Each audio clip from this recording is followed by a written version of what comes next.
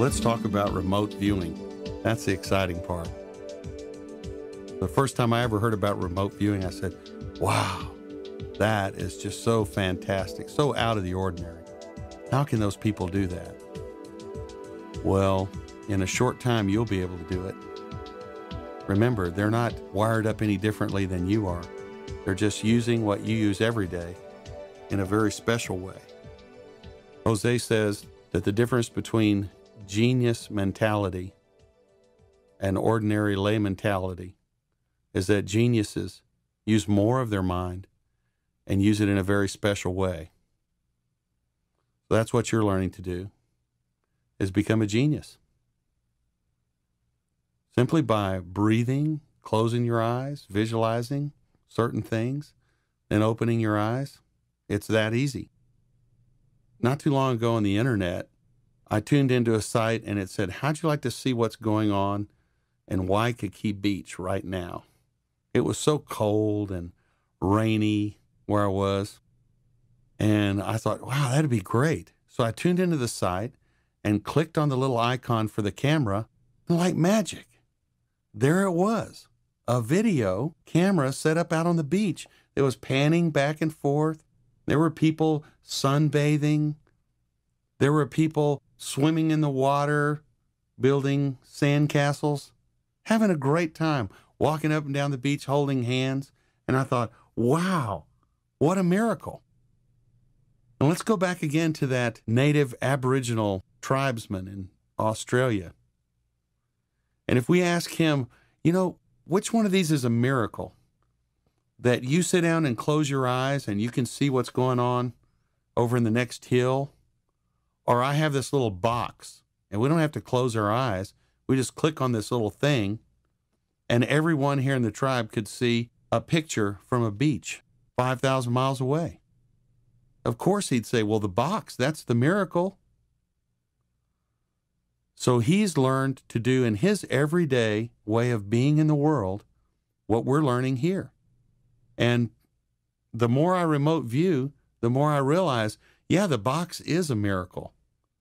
Because it is a miracle to be able to take objects, things from the material world, and put them together in such a way that they replicate, that they impersonate our own innate abilities. That's the miracle for me. So let's talk about you using your own innate, hardwired abilities. When you're going to remote view, you just imagine, just create a place. If you were looking at Bob's house, well, you know about what a house looks like. You make the outline, and then you let your intuition fill in the details. You see, that kind of sensing is not limited by time and space. You remember Jose talked about the two kinds of senses our original senses, which are our intuitive senses, our mental and spiritual senses, and this other set of senses that are physical senses. Now, those are the ones that are limited. Those are the ones that are limited to physics or physical input. They're limited to what light hits the eye, what molecules go up the nose, what temperature or texture touches the end of our fingers. And so those senses are limited to how far a vibration can travel in the air and then impress itself on our eardrum. Let's talk about a set of senses that is not limited that is not limited by even space and time. Let's talk about a set of senses that can see way beyond today and way beyond yesterday. Time belongs to the outer consciousness level. It belongs to the left hemisphere. Out here, we have a linear sense of time. One hour can only happen in one hour. And when that hand goes all the way around, one hour will have passed and that's it. Well, that's true out here. You are learning your way around in a dimension, in a state of mind or way of being in which those things aren't so concrete, where time is malleable, You can go back and look at what happened yesterday. Suppose you're trying to help a child who's very upset. You can go back and look at them, going back a week at a time until that upset stops. And then you can concentrate in that area and see what happened. Then you can help that child. It's so simple. It's like walking into a store and wanting to see what happened at the counter. Well, what do you do? You just hit the rewind button on their video cameras and you can see what happened. Again, that's the miracle, just taking things and objects and impersonating what you can do naturally. That seems like the hard way. So, as you use these techniques and learn to do more and more remote viewing, make it a game. Use your workbook. There'll be a section in there for successes. And under remote viewing, make it a game. If you're going to go to some place tomorrow, then go into this alpha level, do your relaxation, and picture what is that place going to look like? What colors will be on the walls? And then when you get there the next day, remember what it looks like and come home and compare your notes because that's how you make corrections. You say, Oh, I got the color right. Or the next time, Oh, I got the shape of the room right. Oh, well, the desk was over there. So I saw the desk over here. Okay, so next time I'll be a little more careful and look at it a little more closely. And that way you can get feedback about where your successes are and you can enhance your abilities.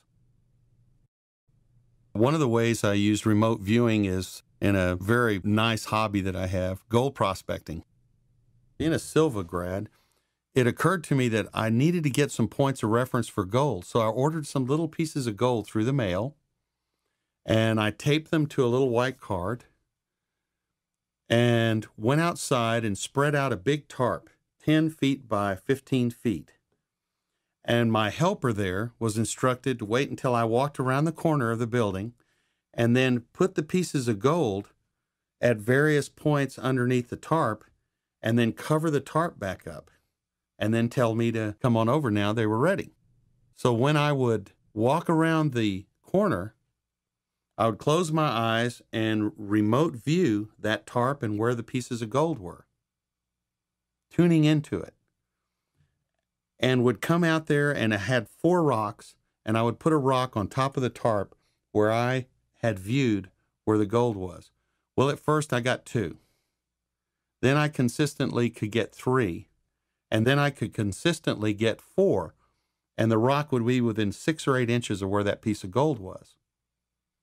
So now I'm out in the gold fields. And there's an old prospector there who sort of like me and was showing me how to prospect. And he says, Now in this stream, we want to go on this inside edge. And I said, You know, I think the gold is over there. And he said, No, that no, no, that's all wrong. It it goes on the inside edge. If you want me to teach you, then follow what I say. So we dug up this area, ran it through the machine, then panned it. There wasn't very much gold there at all. And he says, You want to try your little hot spot over there? And I went over there, and out of a five gallon bucket in this one little spot, we got more gold than we'd got out of two pickup loads of dirt that we had processed during the day. So you can remote view by learning and getting the frequency of what you're looking for. So often I walk into a store and I remote view the store on the way in and say, Where is what I need? Because, you know, in these grocery stores, they like changing the things around. So you walk every aisle and I go right to it. When I lose a tool, when I'm working out on the ranch, I say, Where's the tool? And I'll raise up and my attention will be drawn to a certain place and I'll go over there and there's their tool. So this remote viewing is like a whole other set of senses. Use it like it was a set of senses. Use it in a nonchalant way because they're your senses. Now, it's very important and very helpful to do the theta section of this recording three times a week. Even after you finish the course, even after you're successful. I've been doing this since 1971, and I listen to theta three times a week. Now, why would I do that?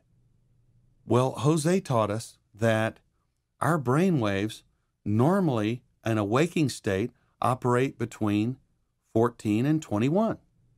By lowering our brain waves, usually people who are wired the same as you and haven't had this training go to sleep at around 12 and they dream at 10 and they're asleep. A Silva grad, after a little practice from this program that you're listening to, will be able to do math, solve problems, very intricate thinking and planning, where most people are simply unconscious and asleep. So, by using theta, that means that will become your new point of lowering your brain waves, where beyond that you would go to sleep.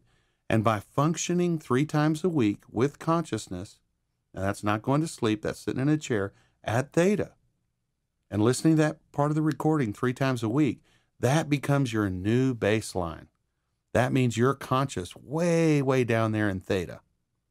That means during the day, your brain waves that function in a seven cycle kingdom will be going between six, down there where theta is, all the way up to 13. And again, that centers us at 10. So that's that line that Jose drew across the table with the water, is that 10. And by going down to theta three times a week, you can center right over that line. That way, you can see what's going on in the physical, be aware of all of that, report it back to the spiritual and the mental, and get help about what you should do to get guidance without having to do anything. It will just pop up on its own. And that's always so nice when the information just comes to us.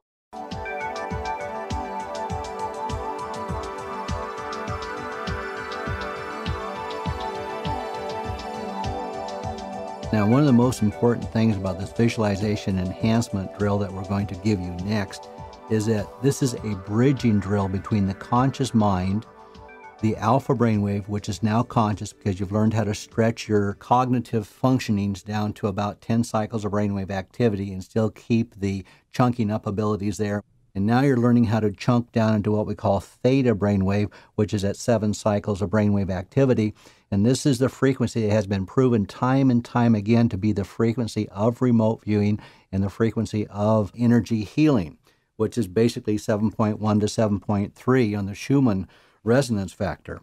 Now, when you do the bridging without doing theta, that means that you could go down there, but what would happen at theta, at seven cycles of brainwave activity, when you came back up, you wouldn't remember anything that happened. So now your consciousness, the bridge, alpha, goes to theta. You're aware of what's going on at theta. You come back up and you can use it at alpha and you can use it at beta. So it's very, very important.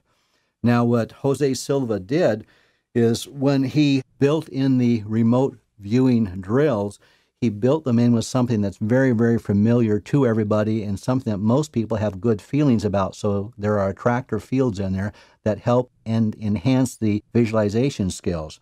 He would use the house, something everybody has. Then he would start you with things you're familiar with. He would start you with the outside of the house.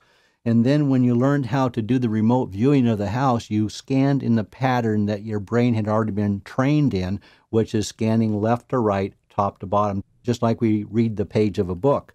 So it's nothing new, it's nothing different. It's just a different use of an old skill you already have, done again at alpha down to theta in new dimensions of the mind that most people don't have communication skills on.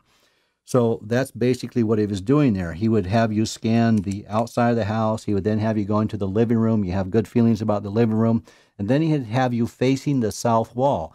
Now, the south wall is very, very important because Jose Silva found out when he was training psychics that they all performed much, much, much better when they're facing the south wall. For some reasons, the frequencies of the earth would align better with the frequencies of the energy body and of the mind when they're facing the south wall. So make sure, you at least in your imagination, you put the south wall of your house there mentally so it does work good for you. Now, he's also doing something else here is he's teaching everybody to pay attention to details. This is a cognitive skill called chunking down. This is a skill of genius. In other words, to take something that you already know and to do something new, different, and better with it takes a skill called chunking down. So pay attention.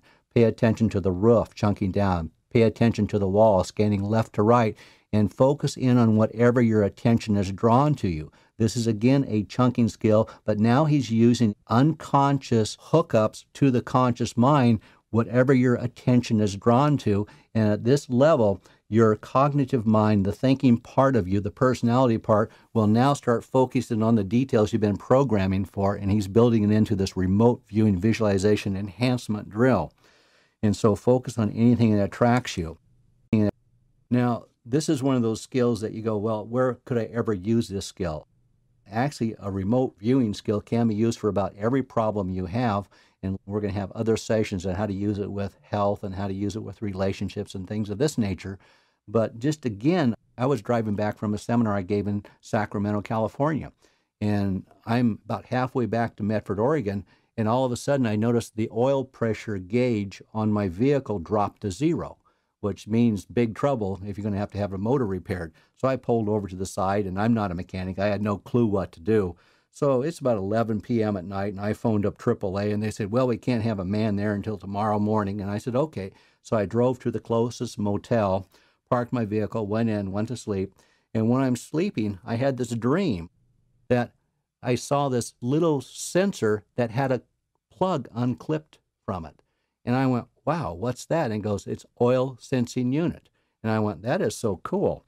And so the next morning, the AAA man comes out and I said, I wonder if it could be an oil sensor unit. Maybe it became unplugged. And he went under the front of the vehicle. And when he went under the front, I went, wait a minute, it's in the back of the vehicle. It's not in the front. And he goes, nope, this one's plugged in. And I said, well, maybe there's one in the back. And he goes, nah, this car doesn't have one in the back. I said, could you look?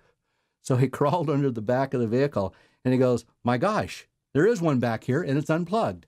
And he plugged it back in. We started up the car. It had oil pressure. Wasn't a doggone thing wrong with it. I got in my car and drove home. So remote viewing can help you.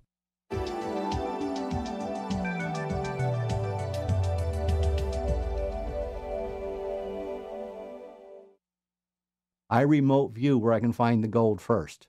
I love the Illinois River back there in Medford area, Southern Oregon. They have a lot of gold deposits back there, and it's nice to go out and find gold every time you go out.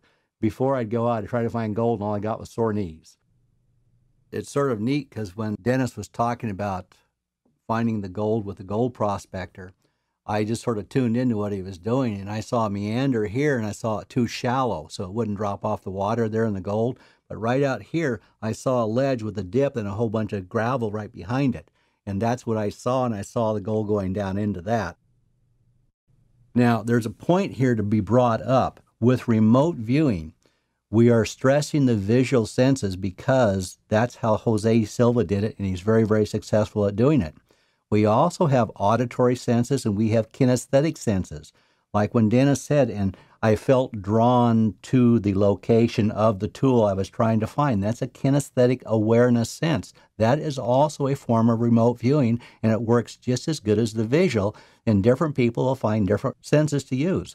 And so when you're doing a remote viewing drill, you might want to just tie in, well, what do I smell when I get a hit visually? What do I feel when I get a hit visually? What do I touch? Is it rough? Is it harsh? Does it smell good? Does it smell bad? What do I hear if I would reach up and objectively scratch it with a hand? So you can bring in all of the senses. Do I feel good emotionally? Do I feel bad? Does it draw me to it? Does it push me away from it? This type of thing. We had a thing last night. I needed to get some vitamins, you know, because I left my vitamins at home for this trip. And I came here and I go to the cab driver and I'm with Dennis. And I said, I want to go to Walgreens. I want to get some vitamins. Well, he took us to Walmart. And, well, I went into Walmart because he took us there.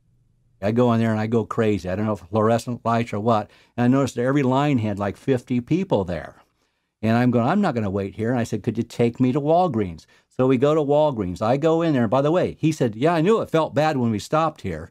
Okay, well, I felt bad too, but I didn't want to make waves with the poor cab driver. So we went right to Walgreens, went in, got it, came back out. I mean, it took three minutes for the whole thing. Go with the feelings because if you're hooked into the remote viewing, into the tuning, it does work all the time. But again, work on the kinesthetics also. I was doing a research paper. I was looking for a book that was on some psychic developmental skills done back in 1882, and it was taught by Tibetan monks to the people in the Theosophy Society. And I couldn't find anything about it. I couldn't find what I wanted on the web, on the internet, none of that stuff there. So I did a program in remote viewing, and I left it with the third scene that I found the product. Okay. And I also found another book on the web that I wanted, and it was at a bookstore in Portland, Oregon called Northwestern Bookstores. So I go into Northwestern Bookstores. I pick up the other book. It's a $6 book. Couldn't find it any place in Medford. But as I'm going out of the door, I get this feeling. I go, Where's your metaphysical section? And he points, and I went right over there, reached down, I grabbed this book, I picked it up, and it has every experiment ever done by the Menninger Institute out of Topeka, Kansas, by Dr. Elmer Green on that psychic exercise and drill done by the Tibetan monks in 1882. I mean, it was awesome. So my point is is remote viewing works a lot of different ways, but you have to have the alpha developed, you have to have the theta developed, you must be able to tune into those feelings, into those thoughts I get a lot of auditories. I get things that come in. I like a voice is speaking to me every once in a while. Sometimes I get drawn to it, like I was drawn to that special report in the bookstore. Sometimes I get a visual. So it depends. It really depends.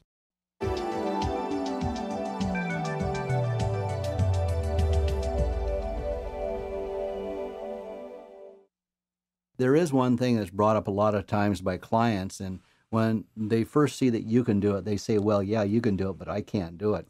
And we found out that in every case, if they do the drills and do health cases, at least 10 health cases with people they're concerned about, they will learn how to do it because they will get verifiable feedback.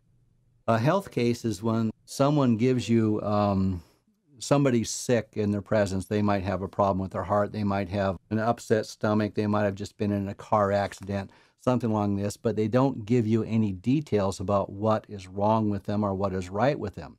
The first health case I ever got, when I visualized them, I scanned this person left to right, top to bottom, just like we're doing right here. And I went through and I go, Oh, she's got a great attitude. She's skinny. I said, but all of her knuckles are really bony. And in every one of her joints, she has all this white stuff. Well, that's what she had. She had arthritis of her hands and she could hardly move them. So my job at that time was to take all that white stuff out mentally, doing another technique we're going to be learning shortly, which is called remote influence. Okay, instead of remote viewing. But you'll notice that all these tools that we're giving you in the Silva Ultramind Systems course are tied together. One links into another, links into another. So you got to be able to do remote viewing to make sure that the remote influence is right. It's very easy to do, even though the remote influence is much easier to do than the remote viewing. So let's say that you're doing a health case and they give you the name, they give you the address, and they give you the location where the person lives, but they don't tell you anything about him. And then you do a casework on it and they write it down as you do it, and then they confirm for you. And so then when you're still at level, they go back and they verify what all your hits were. So your mind is now focusing in on all the hits instead of all the misses. Some people will go back and they go, oh, you screwed that one up. No, no, you didn't mess that one up. What you did is you weren't calibrating right. You were on the wrong frequency. You might have picked up somebody else. You might have been using your imagination, but you want to use your imagination to tune into what that person is, and you only get that through practice. And so we recommend, you know, at least 10 health cases. The reason we recommend health cases is because when you work on the living organism and you care about them, then the desire is there. You want to help them. The expectancy is there because you've got the skill. And the belief is there because you've seen other people do it. So now it will work. Now it'll tune in. But again, it takes you doing the drill and do it with something minor. Do it with someone that has a headache. When we were working out last night, I did as a casework something that's very, very loving to me and that I care a lot about. And I, I noticed something in this person's field that I hadn't noticed before because they're such a part of my life that I didn't think about them as working a case on them. So I worked a case on her last night just to help her out a lot. And so that's what you do is you make sure you do the drills and health cases is the easiest thing to work on. Now you'll also start remembering, you'll get a feeling, and you'll start remembering the feelings that you have. And then all you'll do is remember the feeling when you do the health case and review a feeling before you go back to do another health case, and then review the feeling before you go back and do any type of remote viewing. And the feeling will attach you to the right frequency to work into that new thing that you're remote viewing. One way to make sure that you learn how to do these correctly is learn how to just trust your feelings. A good way to do that is go ahead and use the workbook that you're getting along with this and go back in there and record all your successes. And then before you go back and do another casework, another remote viewing work, go over all your successes from the workbook and then just tune in to the feelings that you had at that and then go to level keeping those in mind as you go there and that will make sure you go into the right brain hemisphere with your remote viewing but have the conscious control from the left brain hemisphere so it's all working together to get you the remote viewing skills. So make sure you use that workbook. Now get ready for your next drill the visualization enhancement drill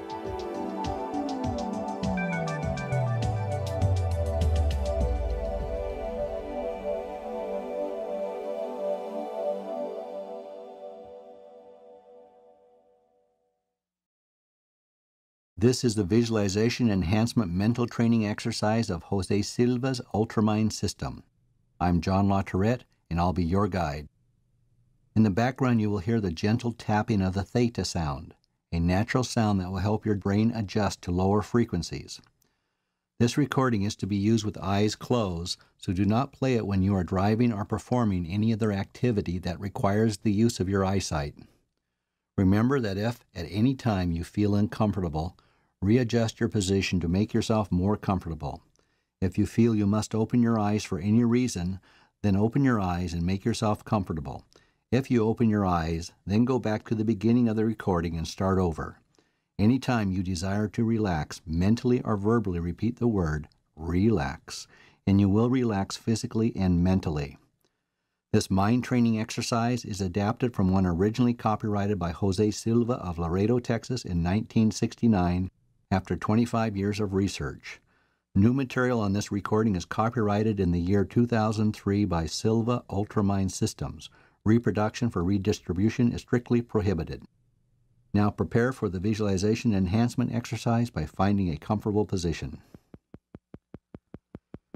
We will start this exercise with the 3 to 1 method. Find a comfortable position, close your eyes, take a deep breath, and while exhaling, Mentally repeat and visualize number three three times. To help you learn to relax physically at level three, I am going to direct your attention to different parts of your body. Relax your scalp. Relax your forehead. Relax your eyes. Relax your face. Relax your throat. Relax your shoulders. Relax your chest externally and internally. Relax your abdominal area externally and internally. Relax your thighs. Relax your knees. Relax your calves. Relax your feet. You are now at a deeper healthier level of mind, deeper than before. This is your physical relaxation level three. Whenever you mentally repeat and visualize the number three, your body will relax as completely as you are now, and more so every time you practice. To enter mental relaxation level two, take a deep breath and while exhaling, mentally repeat and visualize the number two three times, and you are at level two.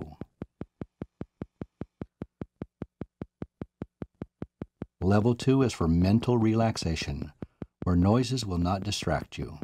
Instead, noises will help you to relax mentally more and more. To improve mental relaxation at level two, practice visualizing tranquil and passive scenes. To go to your center, take a deep breath, and while exhaling, mentally repeat and visualize the number one three times. You are now at level one, a deeper, healthier level of mind where you can function from your center. To help you enter a deeper, healthier level of mind, I am going to count from 10 to 1. On each descending number, you will feel yourself going deeper and you will enter a deeper, healthier level of mind. 10, 9, feel going deeper. 8, 7, 6, deeper and deeper. five, four, three, deeper and deeper. 2, 1. You are now at a deeper, healthier level of mind, deeper than before. It is a wonderful feeling to be deeply relaxed, a very healthy state of being. Laws of Programming The following laws are to be considered when programming. Do to others only what you like others to do to you. The solution must help to make this planet a better place to live. The solution must be the best for everybody concerned. The solution must help at least two or more persons. The solution must be within the possibility area. Principles to keep in mind when programming. The following principles apply to programming. Objective physical communication takes place at the beta left brain dimension using the objective physical senses. The hearing is used for perception, and the voice is used for transmission. Subjective spiritual communication takes place at the alpha right brain dimension by using the spiritual senses. Visualization is used for perception, and imagination is used for transmission. In the objective physical dimension, the past is behind us, the present is our present position, and the future is ahead of us. In the subjective spiritual dimension, the past is to your right, the present is centered straight ahead, and the future is to your left. We will now program effective sensory projection for your success. We will program information through the use of mental projection. We will establish subjective points of reference at the imaginative dimension, the subjective dimension, at different levels and depths as you project yourself mentally to your home in order to improve your ability to recall and visualize its appearance. In a moment, I am going to count from one to three and cause a sound with my fingers. At that time, you will imagine yourself to be standing about 30 feet in front of your home. You will study the outer appearance of your home, scanning the scene. You will start at the top left of the scene and go from left to right just as you do when reading a page of a book. You will then go to the left side of the scene again, but a little lower than before, and again go from left to right. You will continue going a little lower each time until you reach the ground level. I will now count from one to three and cause a sound with my fingers so that you may imagine projecting yourself to the front of your home. One, two, three. Project yourself mentally to the front of your home, standing about 30 feet from it.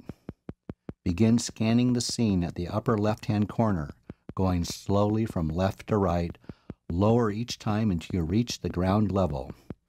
You will go slowly and stop to study anything that attracts your intelligence while scanning, such as the roof, windows, window frames, doors. Study anything that attracts you. Begin by studying the roof of your home. What material is it made of?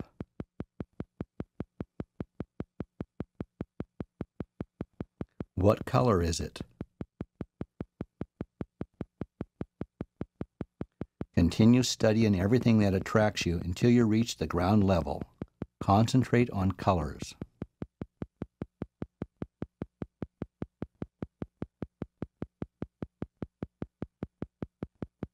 Take your time.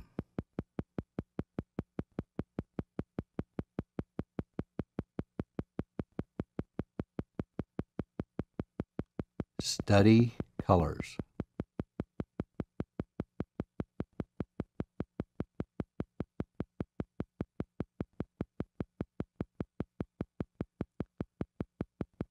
Study the colors.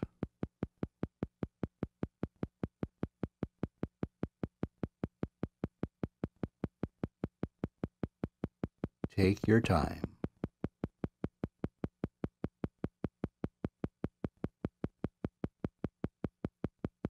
Study the colors.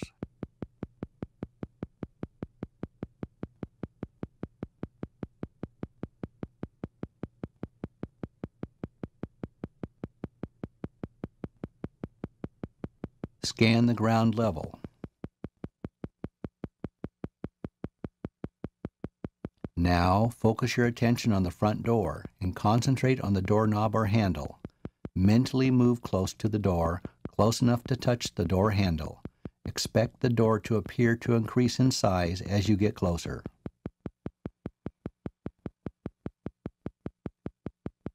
Mentally touch the doorknob or handle, open the door, mentally enter your home, closing the door behind you.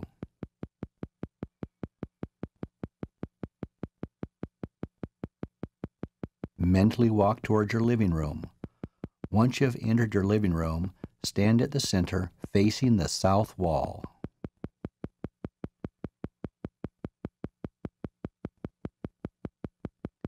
You have been here before. You have been here during daylight hours. You have been here during nighttime with the lights turned on and the lights turned off.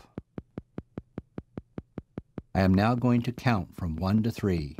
At the count of three, it will be daytime. One, two, three. It is now daytime. You are standing at the center of your living room facing the south wall. You have been here before. You know how much light enters this room during the day, and you recognize what it is in front of you. What is behind you? You know what is to your left and what is to your right. At the count of three, we will change the scene to nighttime with the house lights turned on. One, two, three. The scene has changed to nighttime, and you are still standing in the middle of the living room facing the south wall. You have been here before, and you know what is in front of you. What is behind you? What is to your left? And what is to your right? At the count of three, the lights will go out. One, two, three. The lights are out, and you are standing in darkness facing the south wall. Although the living room looks dark, you still know what is in front of you. What is behind you? What is to your left? And what is to your right? At this time, concentrate on the wall before you, the south wall. You can sense it being a certain distance away, and you know what is on this wall. You also know the color of this wall. Use your memory, your knowing, your sensing to make a study of your south wall. Scan this wall as you did the front of your home, beginning at the upper left hand corner and going from left to right, a little lower each time until you reach the floor level. Study everything that attracts you pictures, curtains, and furniture especially concentrate on objects that contain color.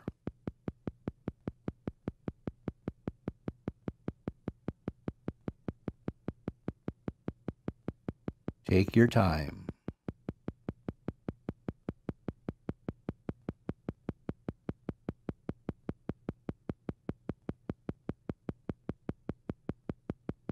Study the colors.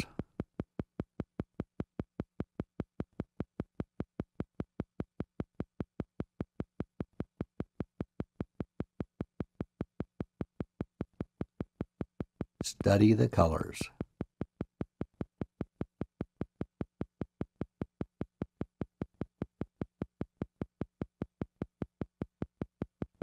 Take your time.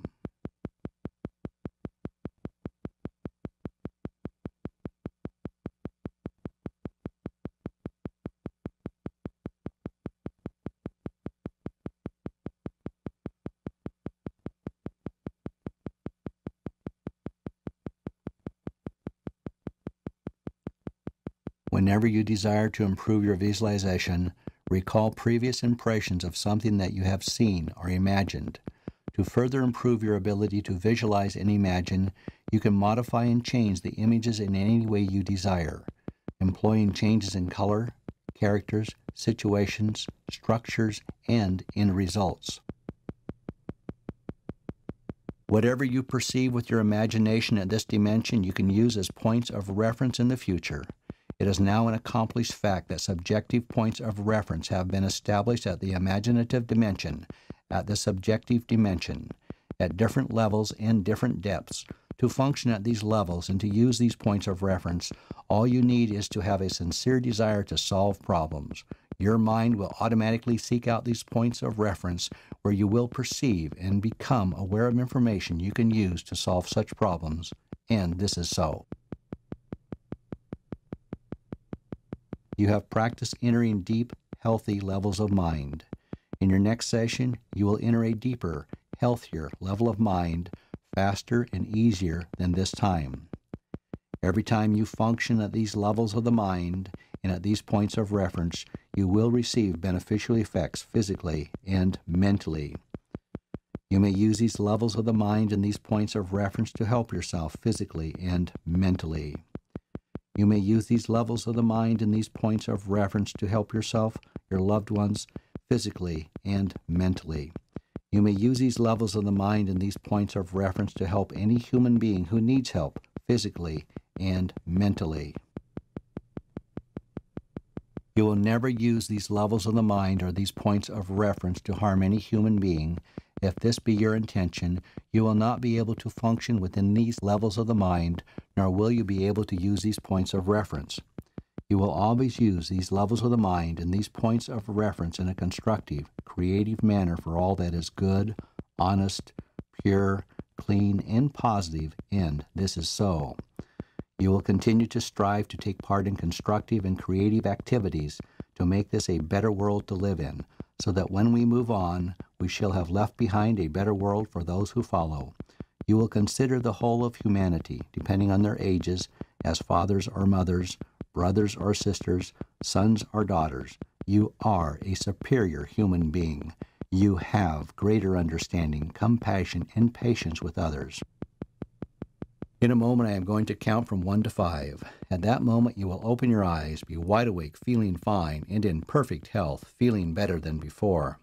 You'll have no ill effects whatsoever in your head, no headache, no ill effects whatsoever in your hearing, no buzzing in your ears, no ill effects whatsoever in your vision and eyesight. Vision, eyesight, and hearing improve every time you function at these levels of your mind. One, two. Coming out slowly now. Three.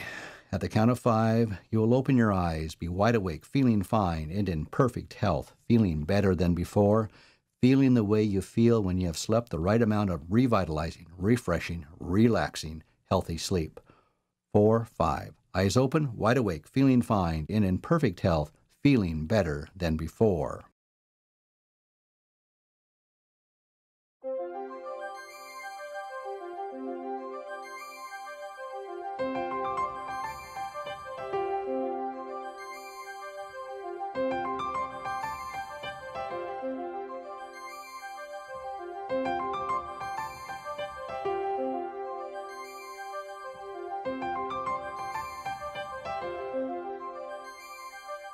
Let's talk about something very important to all of us. Let's talk about how we relate to other people.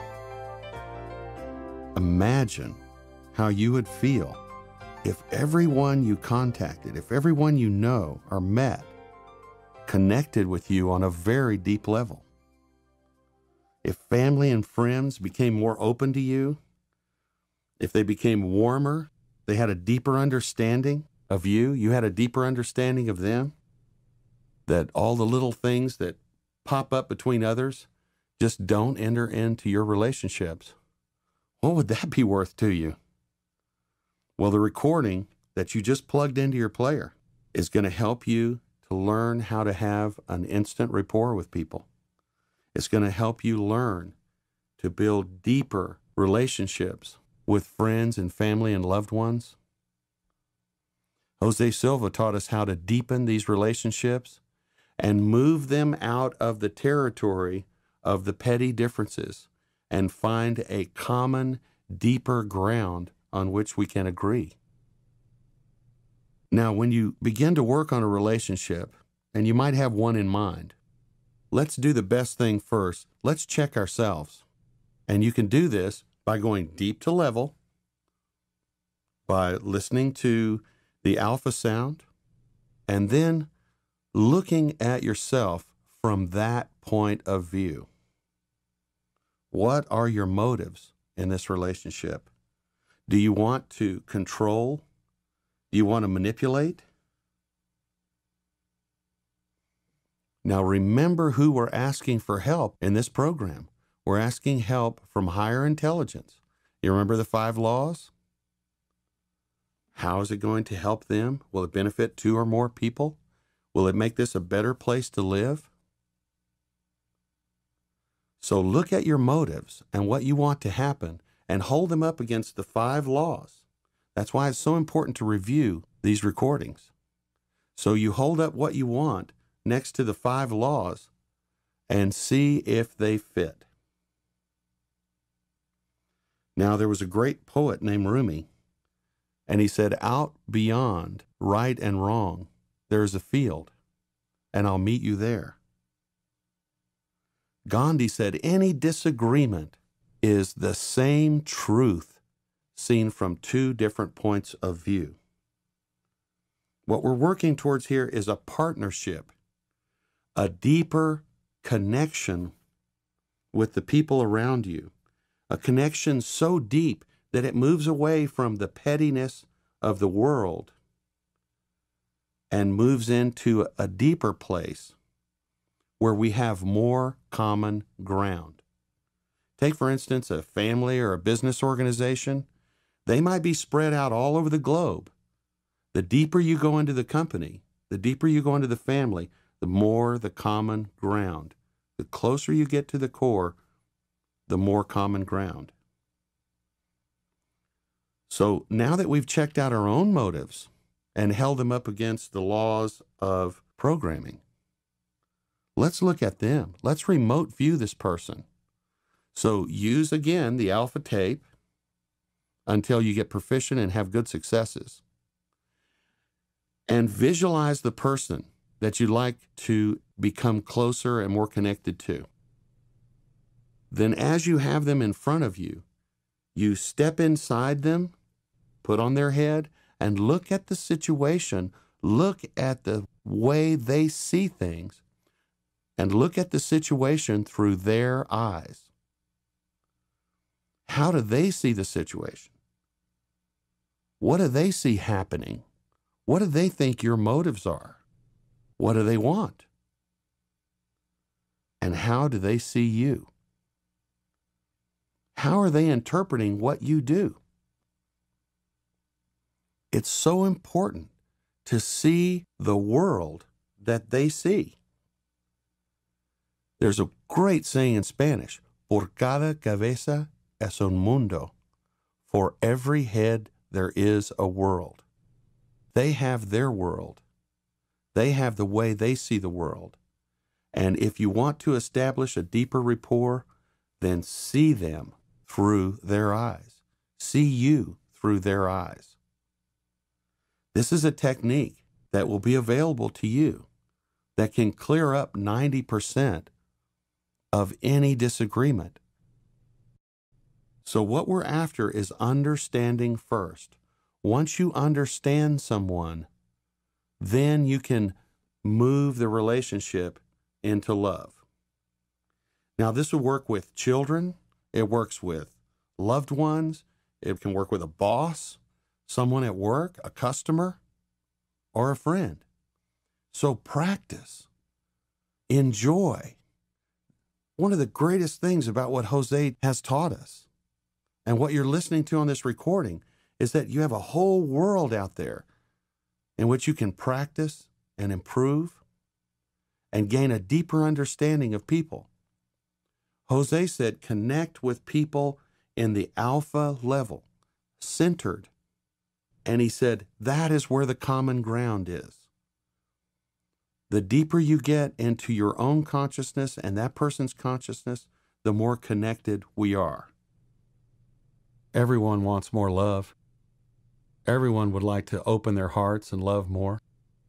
We've all been up to the edge of what we know as far as love and emotion, and then step back from it. We were set up to love, and at the same time, it just doesn't seem like we fulfill our destiny to spread love on this planet. So I use the Silva ESP system to look at a situation. Suppose I'm having difficulty in dealing with someone, or I meet someone that I say, oh, look, they are difficult to love. And I believe what the great teacher told us 2,000 years ago. He said, Physician, heal thyself. So when I see someone or something going in the world that I say, oh, that out there is hard to love, then I know that there's something inside me that needs to be changed. When I see someone and I have a difficulty in loving them, I know that that difficulty in loving does not reside inside them. That difficulty in loving resides in the person who has this heart here. So, what I do is look inside myself and I see how is it difficult to love this person? How is it difficult to love what's going on over there? And I'll find similar experiences inside me. Now, these are sympathetic experiences inside me that are keeping me from loving. I took a saxophone lesson one time, and when I hit a certain note, a guitar in the corner started vibrating and was ready to fall over. And I asked the instructor, I said, what is making that guitar move? He said, That is sympathetic vibration. And he got up and he went over and he loosened one of the guitar strings, and then I could hit that note without that guitar vibrating. So when I look out on the world and I see something out there that I have difficulty in loving that upsets me, then I go inside and I loosen my string that's tuned to that frequency of what I see in that person or what I see in that action.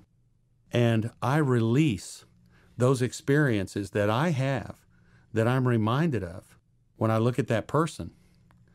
And then I realize that that difficulty in loving resides with me, not with them. I also learn to remote view them using the Silva method, and I get some understanding about what they're going through. I learn to literally go and stand inside their shoes using these exercises in this program. And I see the world from their eyes. And I feel how they feel. And I feel where they hurt. And I understand how they're acting that way. And then I give them the appropriate love, tuned to that action, tuned to the way they're acting, because I have cleared that in myself. I have cleared the obstacle that kept me from loving them that was inside me. Most of us, we're out here trying to rearrange this other person so that we can love them. Physician, heal thyself. And that's what this program has helped me to do. Also at Alpha, I program. I think of things that I love and I build on that. And I feel what it feels like. And at Alpha, I go into a deep feeling and I build on what I love. I think of people that I love. And then I think of people that maybe I have a little bit more difficulty in loving. And I see how that changes. And I learn to love them. So you're acting as an agent here on the planet for higher intelligence, you are an agent of love.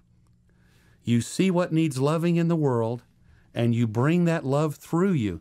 Now, I firmly believe that if I look out and see something happen in the world, I must have some kind of receptors in here to recognize that. When they're programming a robot to visually see a glass of water, they have to put that pattern of a glass of water inside the robot or it won't perceive it. And again, since all this technology is replicating us, I have that program of this person that's hard to love inside me. I have that program in there. I have that picture inside me. So I change that inside me. I let that go.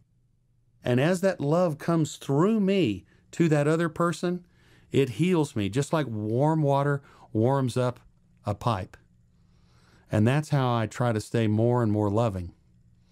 Every day, something will be put in front of my face, and higher intelligence say, Oh, Dennis, here's the next place where you need to learn to love. And I step up and say, okay, what do I do to fix myself so I can love this? And that's where love begins in my heart.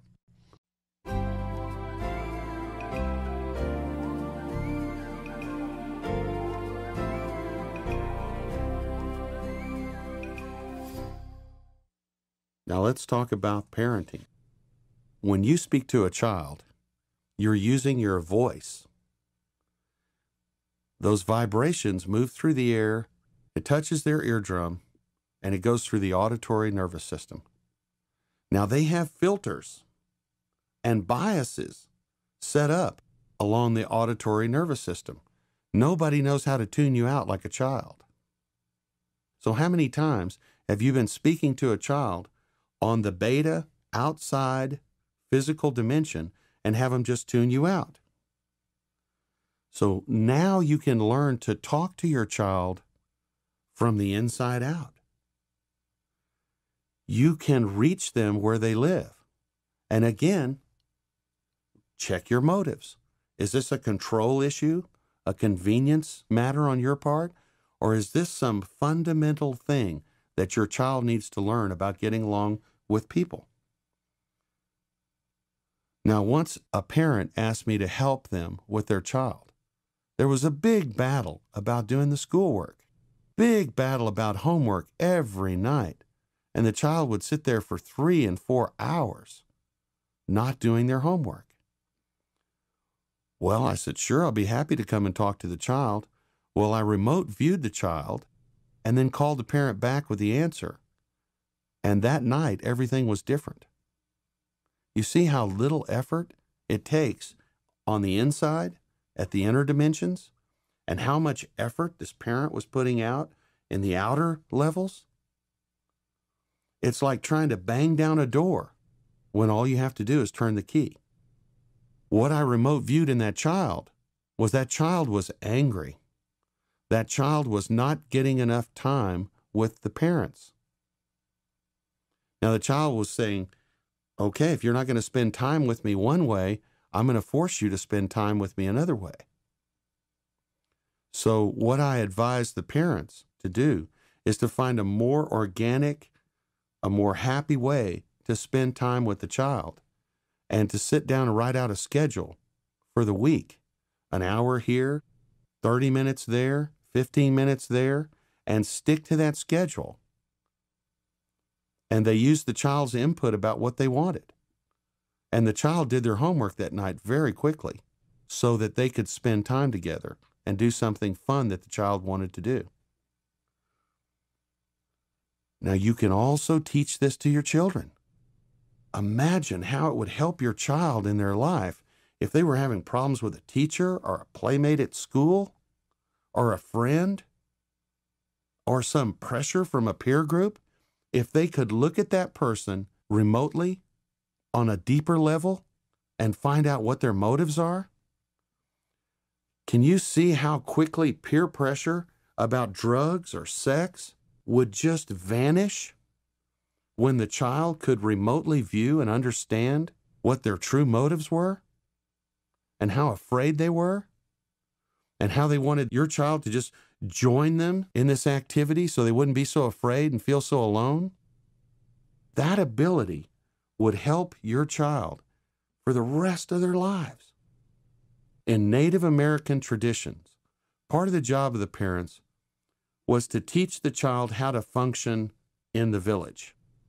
The other part of their job, and the most important part of their job, was to teach the child how to function in a working, conscious relationship with the spirit world, as they called it, to get help, to get advice, to have what they called a totem, an animal that would come and give them advice. And that was the job of the parents. Now, it sounds like a really great job. And it sounds like a job now that you can do because you purchased this album. Now you can prepare your child to go through life connected to all the help, all the information, all the inventions, all the genius mentality that has ever lived and ever will live. Your child before puberty is at alpha. So they can listen to some of the conditionings with you and you can practice with them. You can give them their own workbook, the same workbook that you're using in this course. And your child can take their rightful place to stand with a foot in each dimension, to be able to handle anything in their lives and live the rich, full life that any parent would want for their children. Jose had some great techniques for communicating with his children.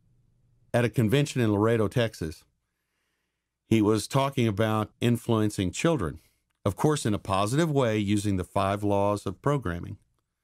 And he said he had given his daughters a picture of himself that sat on the dresser in their room, and it was a big picture one of the 14 by somethings.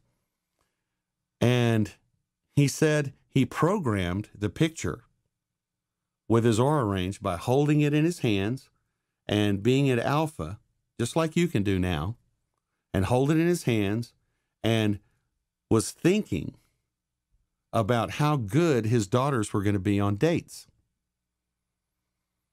and how much in control they were going to be and how they would go along with their father's wishes about what did and did not happen on a date. Well, later that afternoon, I walked into a room and there were four of Jose Silva's daughters. And I told them about the picture. And they said, Oh, you're kidding. Are you telling me the truth? I said, Yes, I'm telling you the truth. They said, We remember getting dressed for our dates and we'd be thinking about our date, you know, what the boyfriend might or might not do. And we'd keep looking over there and there would be this picture of my dad with this really stern look. And we'd say, Oh, okay, well, I better not do that. And oh, they, they went and gave him, they went and gave him a lot of trouble about that picture. So there are ways to influence your child. You can go and lay in their bed during the afternoon when they're at school, when they're not there, and you can go to the alpha level and you can visualize wonderful, wonderful abilities and techniques and talents for this child. If they're having trouble in an area of math, you can lay down in their bed and explain it to them while you're in the alpha dimension. Their bed will soak up your auric vibrations, just as film will soak up the vibrations of light. And when they sleep in that bed, they will be going way down through all their brainwave patterns four times a night. So, this information, this programming that you've done while laying in their bed, will be spread through their entire consciousness. They'll get it physically.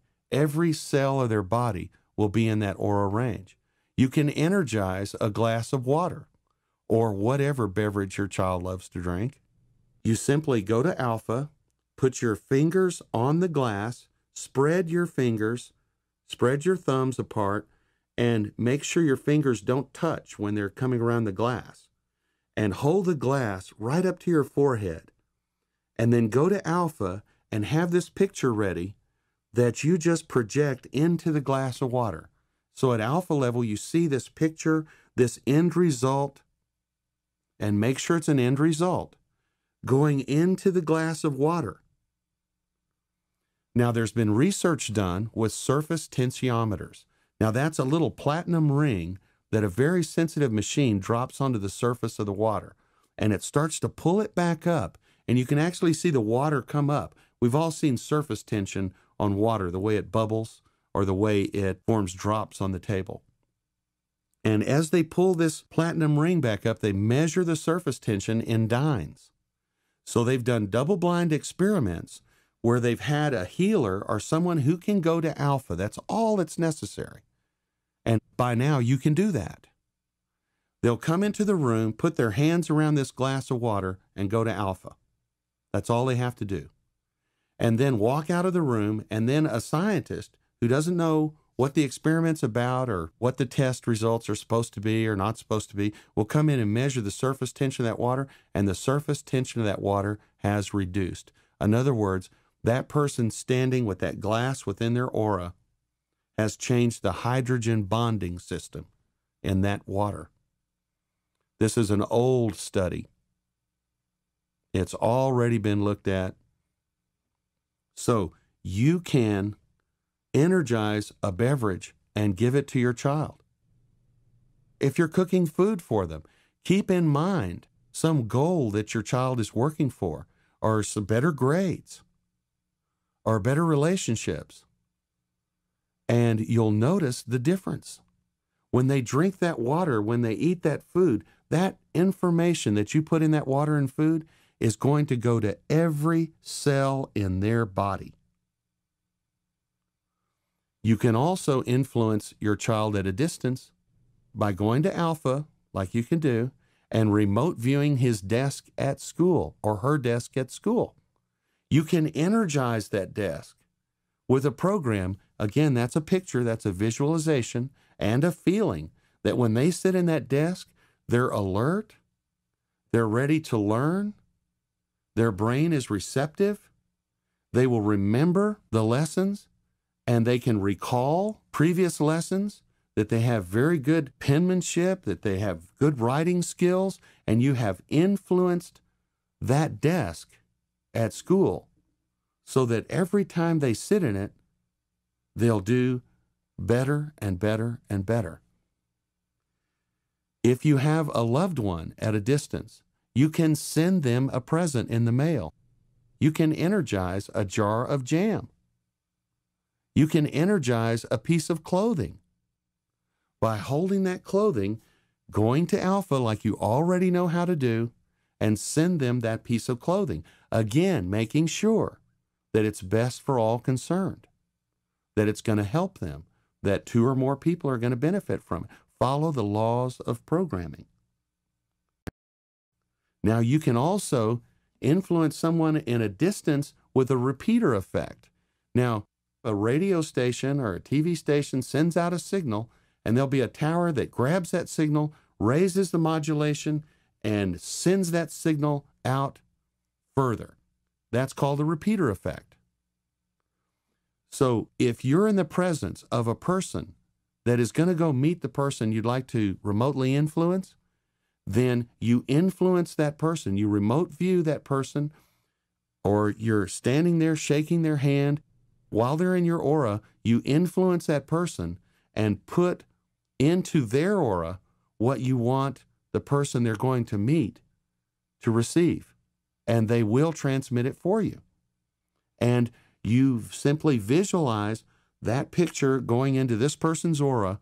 And when they meet and are in aura range of the other person, you visualize the transfer and it will happen. Jose did many studies Every one of these doings that you're being taught, he studied, he researched, he did double blind experiments. Every one of these has been proven. So now you can influence someone directly. You can influence an object that they're going to be around. You can influence something they're going to eat. You can influence something they're going to wear or a gift. You can help them from a distance. You can be effective at a distance. So, by using this recording, you can help others to have a much better life. You can connect with others, clear up difficulties, and live a utopian life with so many friends. Everyone you meet will be a friend because you will be programming yourself and developing a habit of connecting with them on a deep level. You'll be developing a habit of sending energy and information to them on a deep level that will be helping them because you've been following these five laws of programming. So, all of these techniques are designed to work with your intention and they're designed to become automatic.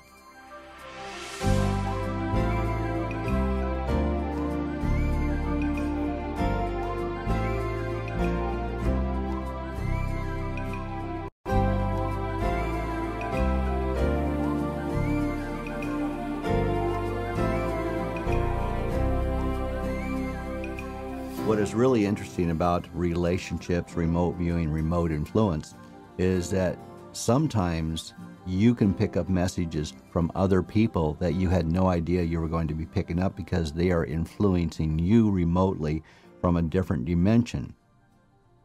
I was moving to Colorado Springs and I was driving along through Montana. It's like 3:30 a.m. I am basically three quarters of the way asleep, but I'm sort of there in theta, making sure I don't slide off that road that has about 12 inches of hard ice on it, driving my pickup four wheel drive. And I started getting these images of seeing this person outside the window. And I kept ignoring him, but he kept waving at me, going, Hey, hey, John, hey, John. And it's one of my best friends. Unfortunately, he'd been dead about a year. And so I'm driving along and I'm going, Leon, you're not there. Go away. He goes, No, no, I'm here. And I go, Okay, I'm too tired to argue. I go, Okay, so you're here. So what do you want? He says, Tell my wife that all the money problems are going to be over on Friday. And I go, What money problems? Because I didn't even know about it. And he goes, Well, just tell her that. And I said, Well, why don't you tell her that? You, know, you don't exist. You're not here. And he goes, No, no, you tell her that because I can talk to you. I can't get through to her. But she's really nervous. She's really scared. I said, Okay, anything to get rid of this guy. Okay, I'll tell her what you said exactly word for word. And poof, he disappears. So I drive on into Colorado Springs and I phone up my sister early in the morning and I go, This weird thing happened last night. And I related the story to her and she got this really weird sound to her. Now, what I didn't know is that she had had a lot of money problems after he had died, you know, paying off the bills for the funeral and the medical expenses and all these things. And she had borrowed a bunch of money from my wife without telling me. And I guess my wife was getting a little bit irritated about the whole problem and the whole story there. And what Leon had done is he had taken out death insurance on his house and they didn't send the money until that Friday. It was a year later, and she didn't know about it, but she got this big settlement all in the mail on Friday, paid off my wife, paid off all of her bills, and she was happy ever after. And I'm going, huh, that's an interesting coincidence. But that just shows me that sometimes relationships can work across other dimensions too. I have a friend of mine. He's been a client of mine for many years, and he's actually a good friend of mine too. And he was having fantastic relationship problems. He got divorced. He finally got so embittered towards women he couldn't stand being around them, but he still wanted to be around them because he loved romance. So he came in for some counseling, and I said, Well, when you think about women, what do you think? And he gave me all those things that he hated about women. And I said, Well, what happens when you go up to a woman and try to get a date? He goes, Well, they all turn me down. I said, Do you have any idea why? And he goes, No. I says, well, it's how you're programming them with your own energy field because you're thinking about, well, I want X, but they're going to do A, B, and C afterwards. So let's see what I can do. I said, why don't you just change that?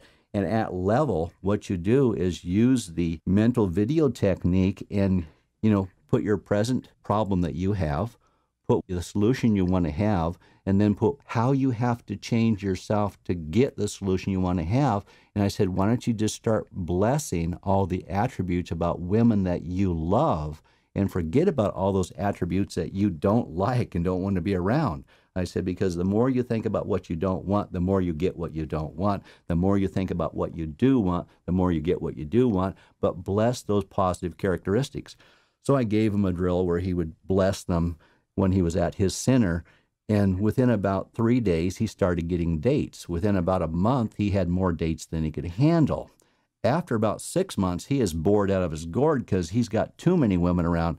And so I said, Well, do you want to get attached to one? Do you want to get married? What do you want? He goes, Well, I want to have a good living companion that I'm happy with. I said, Well, find one that you want and take all the blessing you've been doing for all those women out there and just bless that one woman and see what happens. So he's been living with her for three years now. And so he's happy. They have bought themselves a farm and they're both really happy. And I go, That's cool because that's a relationship that fit his wants, desires, needs, and also fit hers perfectly. So it gets down to in all these conditioning cycles when you're learning whether it's a mental video or the three scenes technique or it's a business course or a health course, you have to pull into what we call the positive thinking versus the negative thinking mode. And I know it's very redundant. You've heard it a hundred thousand times. Unfortunately, it's still very, very basic and very important. Negative thinking is thinking about what you don't want. We have a creative mechanism. When we think about what we don't want, we get it. When we think about what we do want, we do get that. And it's that simple.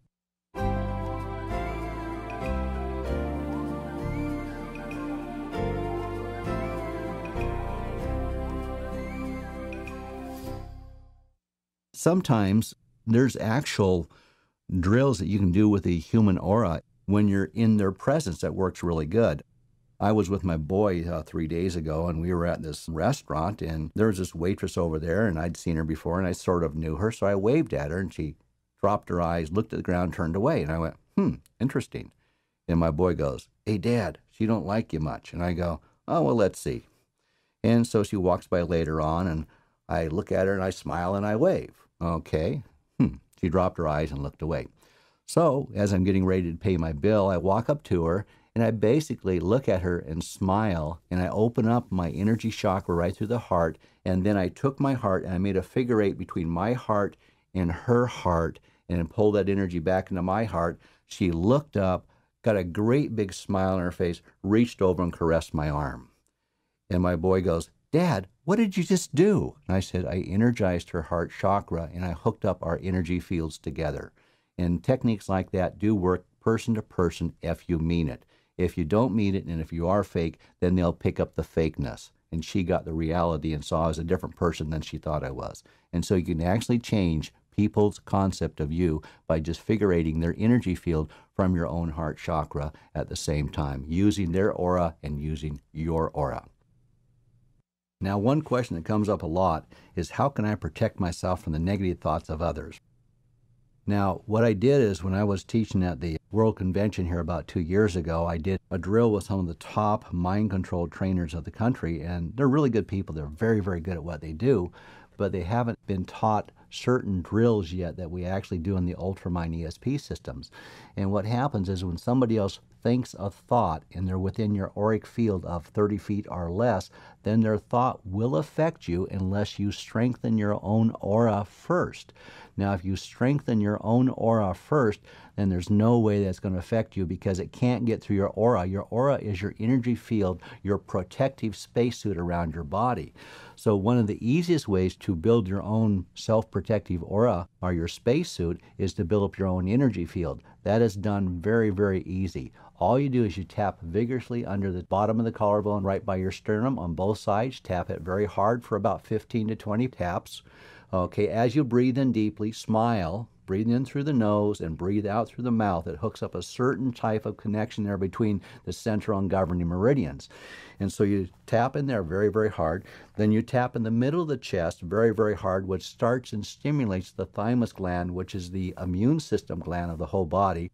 And then you come down right below the nipples and one inch to the sides. You you tap very vigorously right there. That's spleen point 21. That turns on your immune system, and your human aura will just bubble out and get very, very strong. And so those thoughts won't affect you. Now, the way to seal in those thoughts is you now zip up your energy field. Now, the zipper of the energy field on the central meridian starts down by the pubic bone, and you just zip it up to the lower lip as you do a affirmative thought and the thought is, my energy field is strong. Then you lock it just like you lock a gate so nothing can get in. You do that three times. And then you do the same thing. You zip up from your tailbone up your spine in the back, reach over your shoulders, grab that zipper, pull it up over your head and down to your upper lip and lock that one as you do the same affirmation and you do it three times. That will lock and seal your energy field so people, even if they're within 30 feet, their energies will not affect you. Now, there are other ways of doing a self protection device, and that's the one that they give in the Silva Ultramind conditioning cycles. So if they're zipped up and you know that they're locked, you can actually zip them up mentally. And as you zip them up mentally in your mind, you can say negative thoughts do not bother me, but positive thoughts bring me the benefits and advantages I desire. And so you can use the Silva conditioning at alpha brainwave, at theta brainwave, along with the physical movements, and you have a shield that will stop almost anything. And the research has shown that when you do programming at alpha theta using conscious inductive thinking, it's a thousand times more potent than when done at beta. In the next conditioning cycle, we will work on one relationship project. So at this time, select a relative, a friend, or a person whose face you can remember easily. We will later refer to this person as the subject. So join me on session 12 for remote viewing for relationships.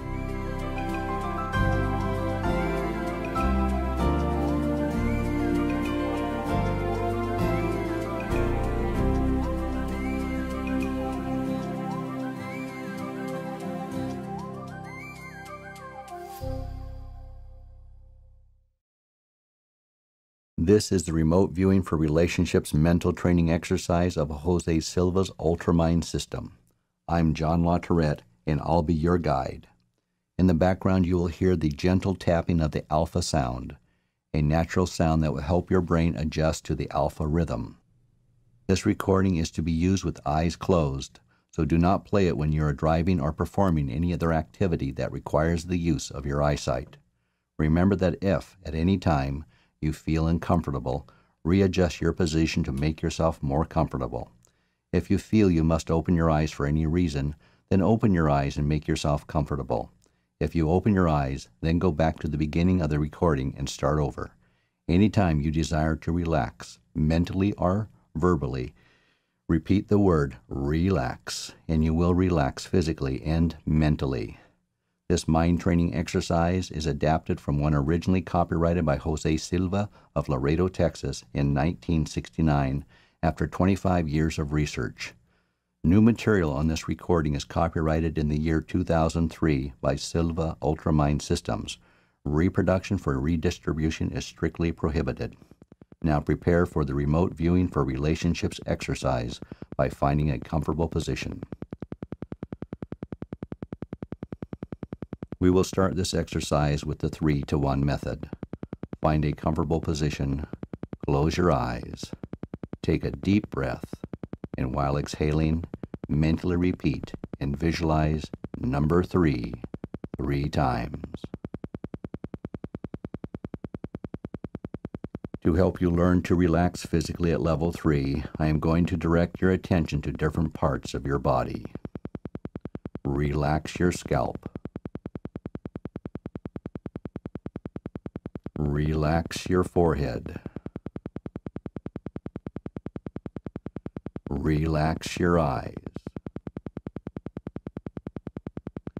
Relax your face. Relax your throat. Relax your shoulders. Relax your chest externally and internally. Relax your abdominal area, externally and internally. Relax your thighs. Relax your knees. Relax your calves. Relax your feet. You are now at a deeper, healthier level of mind, deeper than before. This is your physical relaxation level three. Whenever you mentally repeat and visualize the number three, your body will relax as completely as you are now, and more so every time you practice. To enter mental relaxation level two, take a deep breath and while exhaling, mentally repeat and visualize the number two three times, and you are at level two. Level two is for mental relaxation, where noises will not distract you. Instead, noises will help you to relax mentally more and more.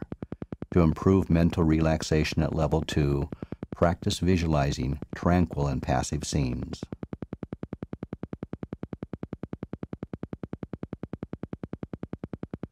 Go to your center, take a deep breath, and while exhaling, mentally repeat and visualize the number one three times.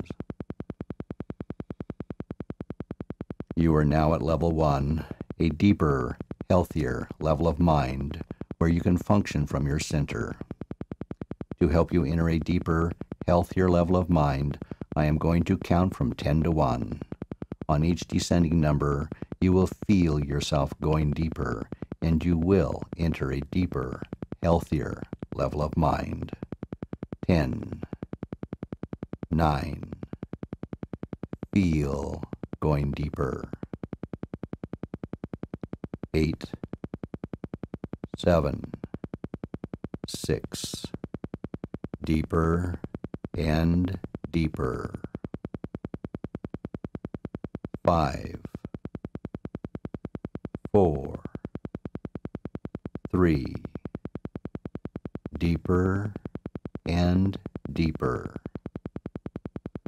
two, one.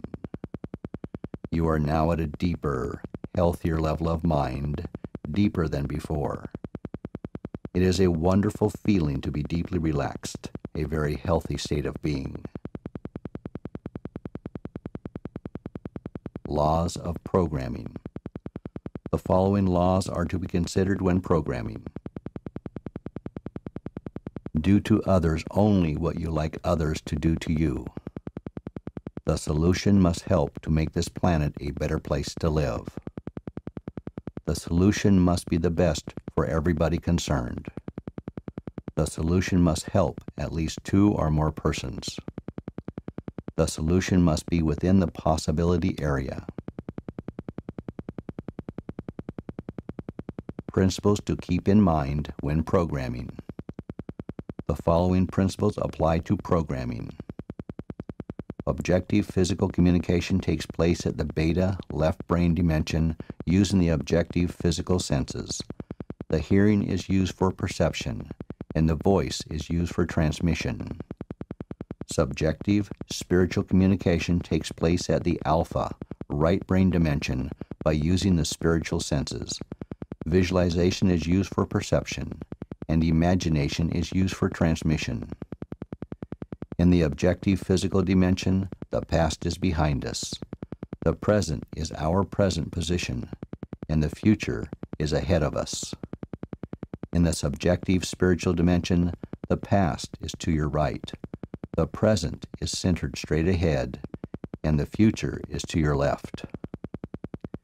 We will now impress new information for your benefit how to use remote viewing and remote influencing to improve relationships.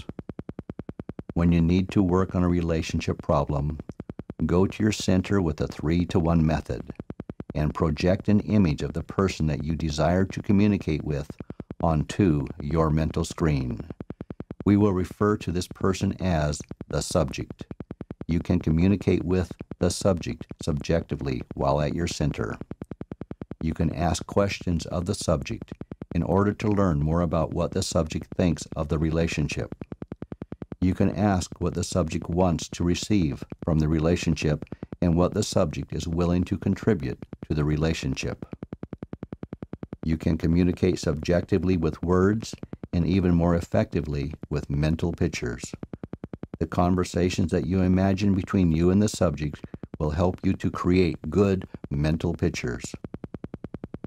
To detect information about what the subject is thinking and experiencing, you can imagine that you are superimposing the subject's head over your own head as though you were putting on a helmet.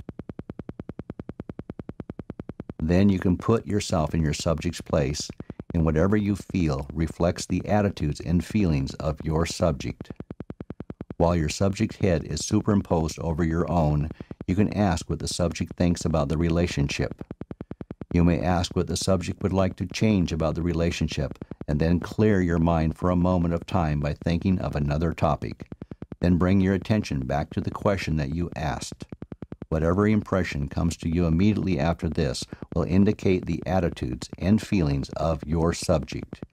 You will then concentrate in this particular area. Remember, whenever you put the subject's head over your own to remove it when you have completed your investigation. After you have detected your subject's attitudes and feelings about the relationship, then project an image that reflects the improvements that you desire in the relationship. You can talk with the subject subjectively in order to help you create the mental images of a beneficial relationship with everyone's needs being met and everyone happy with the relationship. Later, when you meet the subject objectively in the physical world, you can verbally reinforce anything that you told the subject when you were at your center, and your subject will detect your true feelings and your desire for a relationship that benefits both of you and also benefits everyone else involved. I will now give you time to work on one relationship. At this time, select a relative, a friend, or a person whose face you can remember with least effort we will refer to this person as the subject. Now recall the subject's face. Now study your subject's face, the facial features, the hair, eyes, eyebrows, nose, cheeks, the character of the face.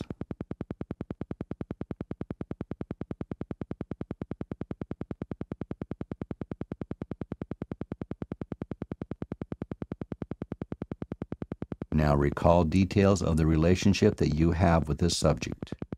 Recall some recent interaction. Perhaps there is something about the relationship that you would like to improve.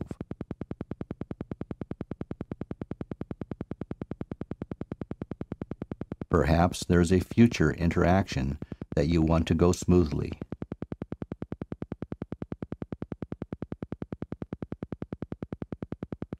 Can ask what the subject thinks about the relationship, and clear your mind for a moment of time. Whatever impression comes to you immediately after that will tell you the attitude and feelings of your subject. You can imagine that you are superimposing the subject's head over your own to help you detect the attitudes and feelings of the subject.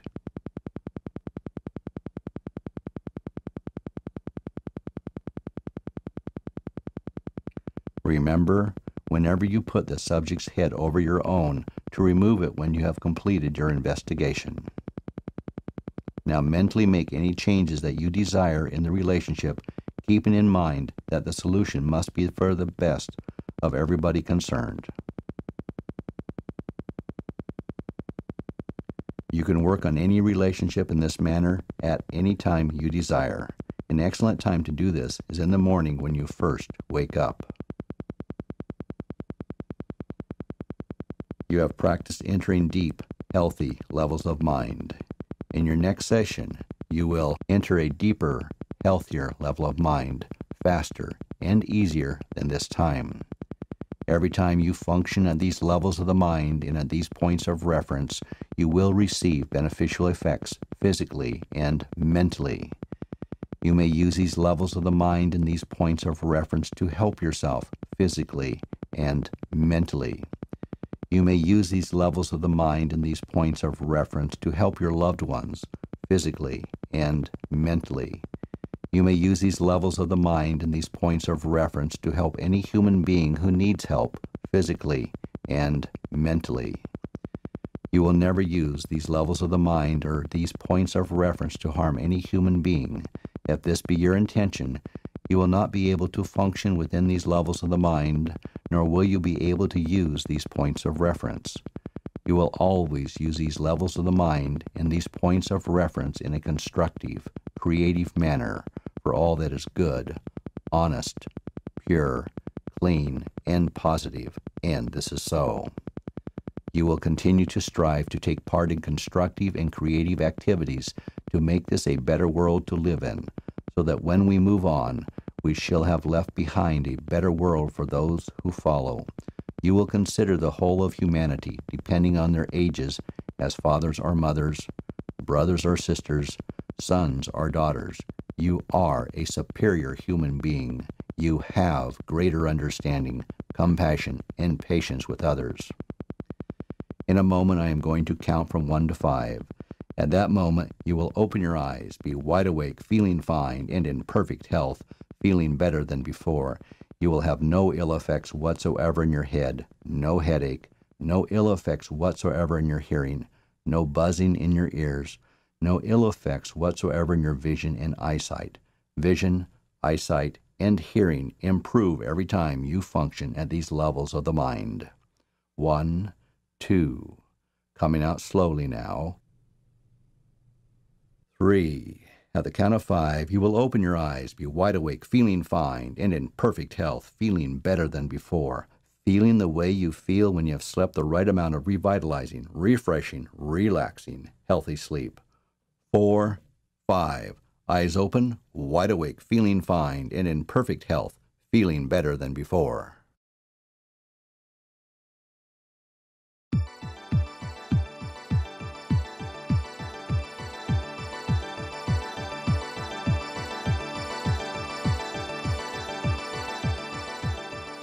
Everyone likes to talk about finding their purpose in life. And let's look at the paradigm. Let's look at how people look at a purpose in life. Normally, they equate a purpose in life with what they do for money. Now, that's a very narrow arena to work on that issue about what is your purpose in life. They equate their purpose in life with what they do for their job. So let's widen out the view about the purpose in life. In fact, let's back off and get a big perspective on your purpose in life. And let's look at it from the view of higher intelligence. Now, all through this training course, we've been talking about going within and connecting with your source. Every mind exercise, every conditioning that you've heard John do for you has been aimed towards completing a connection between you and higher intelligence, higher consciousness, the mental and spiritual, whatever you perceive that to be. So let's look at a purpose in life from that point of view. Now there was a gentleman was in a small town and he was watching some bricklayers. And one bricklayer was just so happy and thrilled, and he was whistling and having a good time and laughing to himself. And the other bricklayer had a scowl on his face. He was angry. He griped at the people who brought him the mortar if they didn't bring it quickly enough. He was mad because the lunch truck was late. He just was having a terrible time. And right next to him was someone that was just happy filled with joy in their life. So he couldn't resist. He walks across the street and says to the very negative person, What you doing? He turns around, he says, I'm laying bricks. What does it look like I'm doing? Well, he backed up a little bit and almost went across the street and he says, Well, I'm over here. So he goes over to the joyful person and he says, What are you doing? He said, I'm building the finest post office this town has ever seen. People will be able to come here and get letters from grandparents and communicate with grandchildren and get money or send money, send Christmas presents, and communicate with people all over the world in this wonderful, beautiful post office. That's the point of view to have. Is what are you doing in your life, or what could you be doing in your life now that would bring the world together, that would help the world, that would do what higher intelligence is trying to help us to do, is to help with the evolution, with the advancement of human consciousness here on this planet. Now, so many people stand off to the side and gripe about the world the way it is. They gripe about their life the way it is. So let's go high atop a skyscraper. It's being built. 30 floors above the ground. The lunch whistle blows and everyone sits down to have lunch. And there was a new man. He sits down and starts to open his lunch. When he hears next to him, Oh no, peanut butter and jelly again. He looks to his left, and there's the man looking at his sack. Peanut butter and jelly again. That's all I get for lunch is peanut butter and jelly. I hate this stuff. He throws the sandwich down on the deck, stomps on it. The jelly squirts out the sides, and he kicks it over the edge, tumbles off into infinity. Sits back down in a huff, folds his arms, very angry. So the new guy next to him is just, he's so surprised. He's shocked. He says, You, uh, you don't like peanut butter and jelly? He goes, I hate peanut butter and jelly. And there he goes again. So finally, he was just so curious. He wanted to help the guy. He says, uh, who, who, who fixes your lunch? He says, Oh, I do. And that's what we do. We fix our own lunch. So when you're griping about your life or how the world is, you have the opportunity to change your world. You have the opportunity to find your purpose in life. Now, these exercises have been helping you to get down deep, down inside yourself, where you live. In the next session, you'll hear John with a special mental exercise done by Jose Silva to help you go back to your childhood and remote view your childhood and see yourself in your childhood. Now, why would he do that? Because he wanted people to go back to a time when they still had their enthusiasm, their zest for life, their desires, and find out what their deepest desires were at that time. Now, so often in a family, even if the family cares, we aren't able as a child to fulfill our deep desires. There'll be a financial consideration, or maybe there's something else going on, or maybe there's stress in the family. And so we learn to put those away. And in this exercise, you'll be able to go back, see yourself as a child, and reconnect with that young part of you that you gave up so that you could make it through life much more easily. Albert Schweitzer talked about us as adults on a boat in the sea of life. And he said, the waves start getting a little rough and it starts getting stormy, and we're afraid of sinking. So we throw out ballast, we throw out weight out of the boat, and we're throwing things out and then our boat skims over the waves more lightly now, and we feel safer. What we threw out was our food and drink. So we're parched and thirsty. So we throw away things as we're growing up. We let go of childhood desires and wants and needs, the things that are deep inside us. And then it's natural for people to look around and say, well, okay, if I'm not in touch with what I want on a deep level, what does everybody else want? What does everybody else think they need? What is everybody else trying for? And then we go for that. We want to make some money or have a prestigious job. And that becomes our purpose in life is to somehow fulfill that need that we're not in touch with. And whatever we go out and do, it's like eating waxed fruit. We go through the motions, it looks pretty, it looks nice, and it just doesn't satisfy us.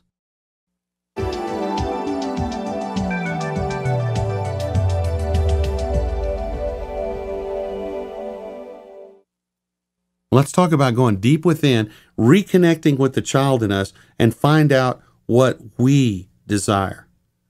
Find out what would give us a sense of satisfaction and feed us. So you can use a mental video technique, the one that you've been perfecting.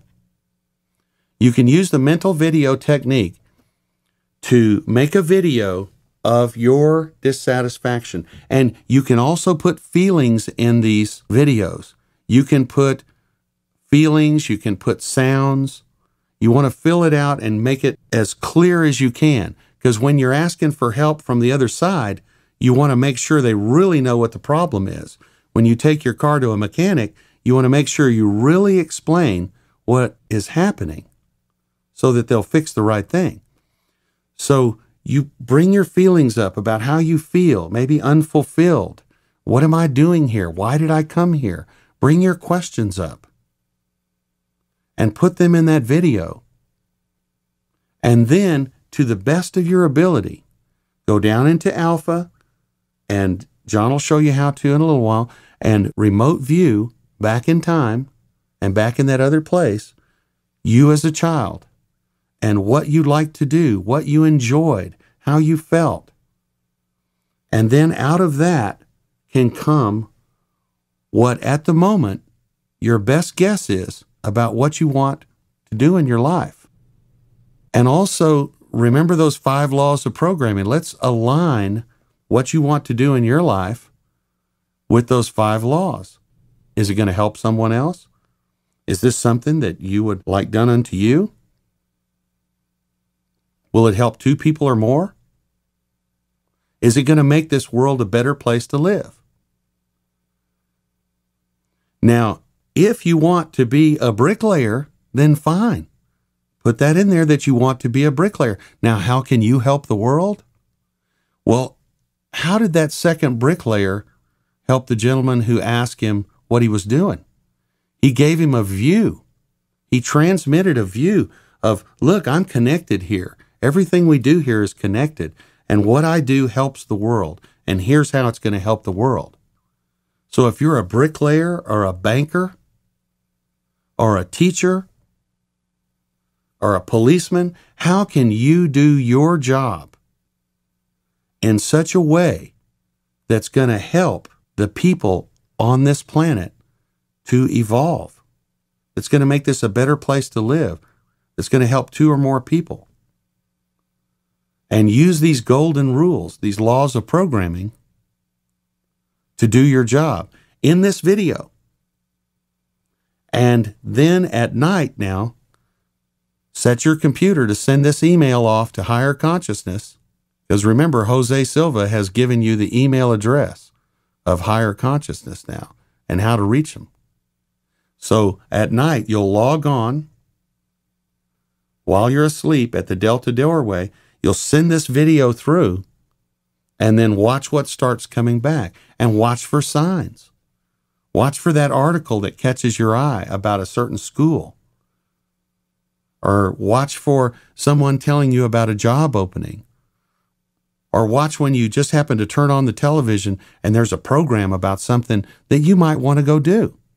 You watch for signs and you head in that direction. You head in that direction and if it works, if it's easy, if it feels like you're going with the flow, then keep going. You see, we're talking about going with the flow here. We're talking about finding your purpose in life by using higher intelligence, who has this big view of the big picture. They've got the long view, timeless. So when you align yourself with what higher intelligence wants you to do here on the planet and is ready to help you to do on the planet, it's like swimming in a river. Have you ever tried to swim upstream in a river? It's hard work. Just swim, swim, swim. You get exhausted. It's effort, effort, effort. You can't enjoy the scenery or enjoy the water. Now let's contrast that with someone who's floating downstream with the flow, someone who's in tune with the flow of higher consciousness and what they're trying to get to happen here. Because you see, someone swimming upstream has big trouble when a big log comes around the bend. Someone swimming downstream, they're relaxing, taking it easy, enjoying the view, enjoying themselves, enjoying the day, looking at the clouds and the sky. And when they encounter a big log, they can get up and ride on it and relax on what would turn others asunder. When you're going with the flow, these so called obstacles and difficulties that other people have actually help you. That's a big turnaround in your life.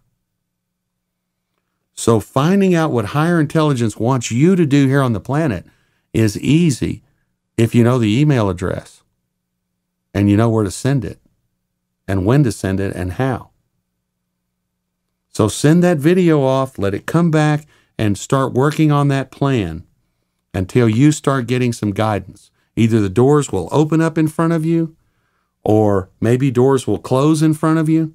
And so send that off as a video and refine it and fine tune it until you become the person you want to be, until you're doing what gives you a sense of purpose in your life. Now, if you look at the great teachers that came to this planet, to show us how to live, how to live physically, how to live spiritually, how to live within these laws of righteousness, and how to live with the totality of ourselves. They weren't finished when they got here. They weren't done yet. They were working on themselves. They were fasting. They were studying. They were meditating. Exactly the way you're doing right now.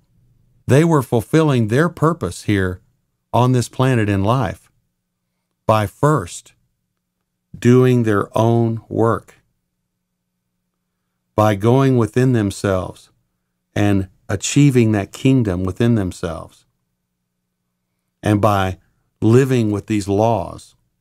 They were achieving their purpose here on the planet. And by you learning to go inside yourself with this program, you can achieve your purpose here on the planet.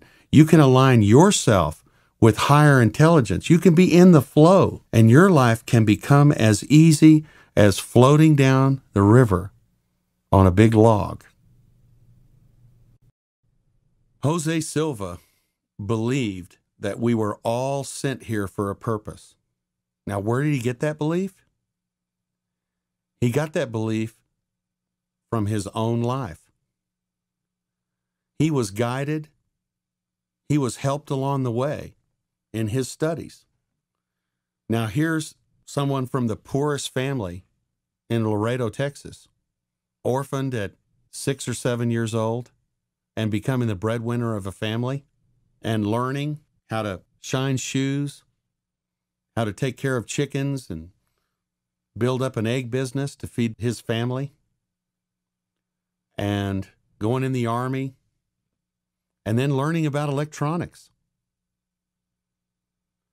So here's a radio and later on TV repairman.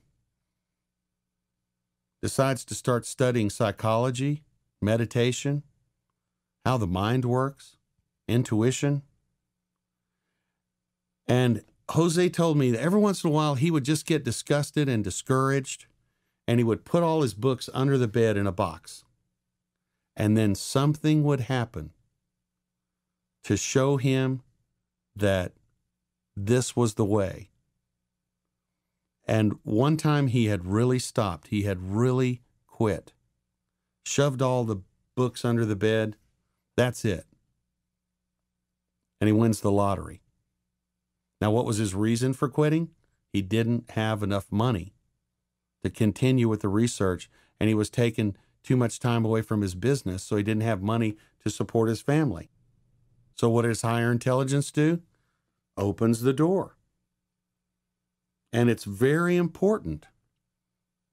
It's very important for you to understand that you came here for a purpose. Now, we're not trying to make you very important or some big shot. We're saying that you have a very important part to play in the scheme of things. That you can help the people around you to evolve, that you can help bring more love into the world. You can solve problems using all of these techniques on this program. You can make this a better place to live. Now, let's talk about when we get resistance or when we have our mental video delivered to us and here we take off and go and the door is locked. Now, the left brain at a very light, shallow level of mind is going to want to beat on that door and push on it and try to get around it, or robotically come up, boom, hit the door, robotically come up, boom, hit the door. So, what Jose Silva taught us to do, remember now, on the inside, is not the law of effort, it's the law of attraction. So, you go back inside, reiterate the plan, send the video, and attract an easier doorway. We didn't come here to struggle. We didn't come here to fight with the world and be at odds with all these things. Jose Silva and this program are teaching you how to blend, to blend with this program, to blend with the flow of life, to quit putting out so much effort and getting so little, and to start attracting what will help you and help others around you.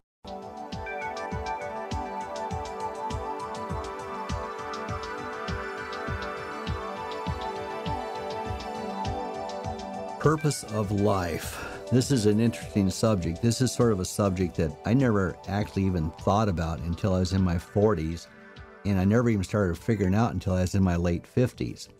Life has always, in my case, been really simple. I am amazed at how many people think I'm smart and creative. But see, what happens is, is I didn't realize until I was teaching the Ultramind that I'm one of those guys that just accidentally stumbled into my path starting about the age of seven years old in 1950 when I started taking martial arts.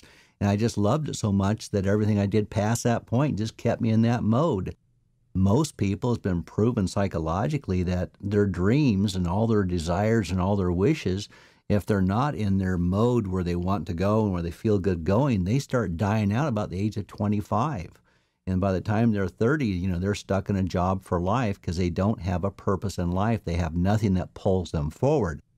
It's like the carrot technique that people talk about, and it's like the stick technique that people talk about. You know, a carrot is a purpose in life, it leads you forward. A stick is what you're running away from. I don't want to be poor. I don't want to be broke.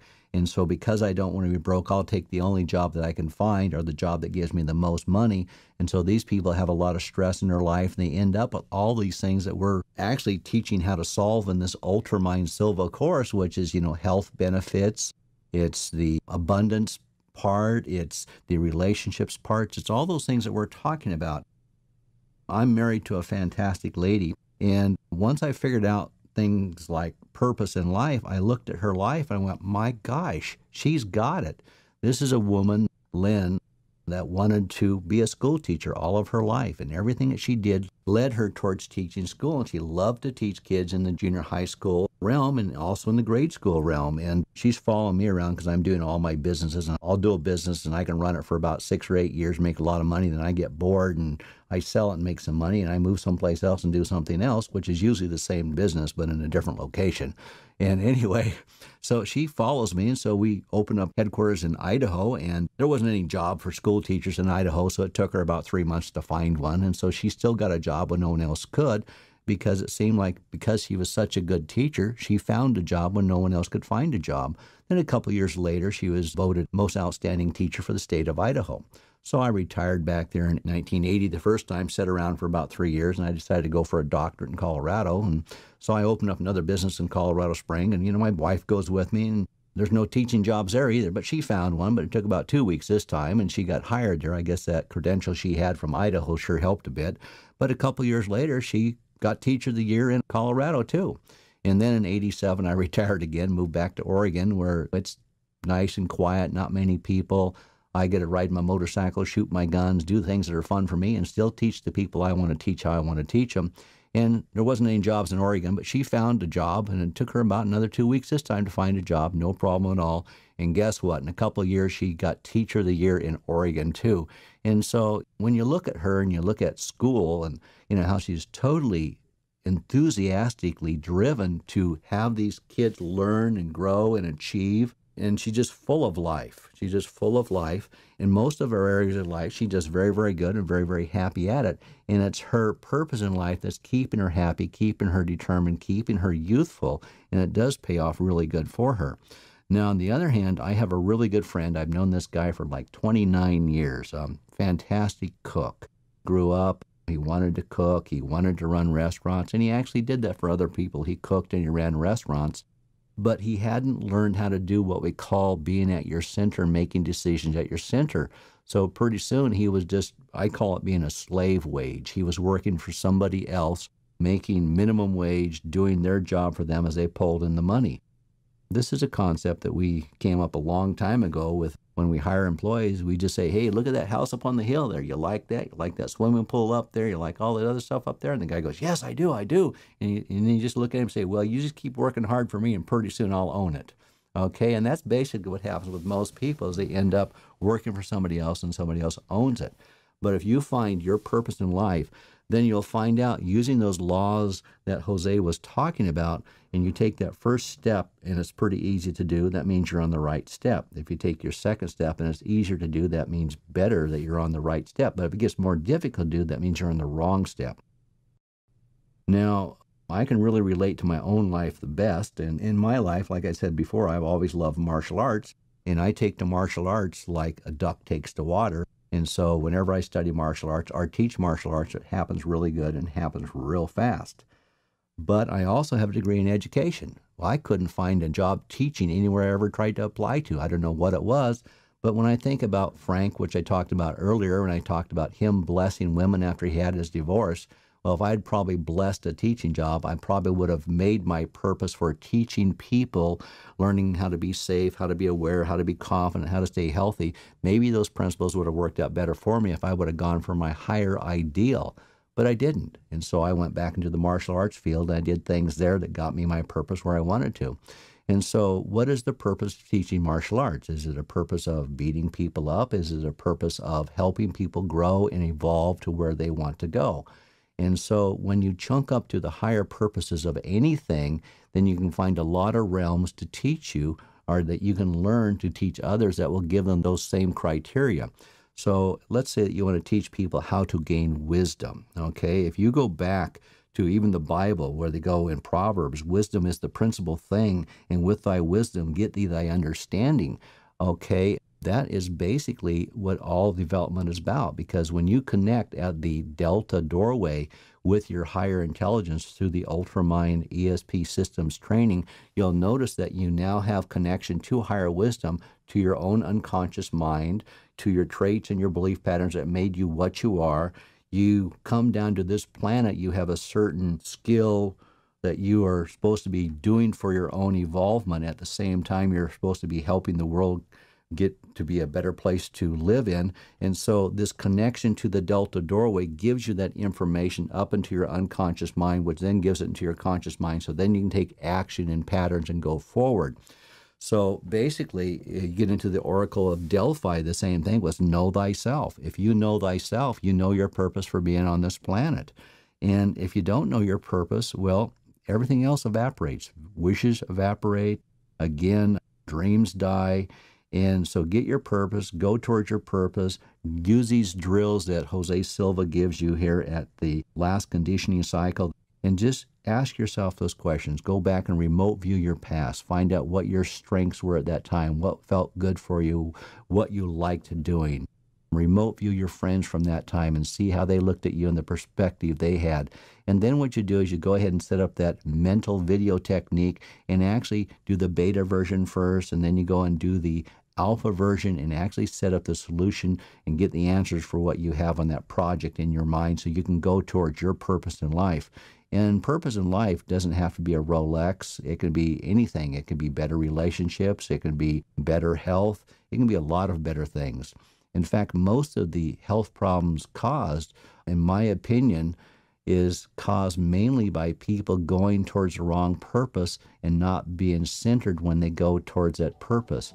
And there's many documented cases that people are dying from clinical diseases and they say, well, you've got two months to live. And the guy goes, really? Wow. And so the guy quits his job, goes home, goes out and goes, well, I like to garden. And so he spends all summer gardening and he goes back in six months later for a checkup and found out there is no cancer anymore. It's gone. He changed his focus on life and his body changed. Now, I would suggest from that point there, find a purpose in life what you're really drawn towards and go towards that. In the next conditioning cycle, we will program information for your benefit, suggestions and strategies to help you find and fulfill your purpose in life. So join me in session 16 for learning your life's purpose.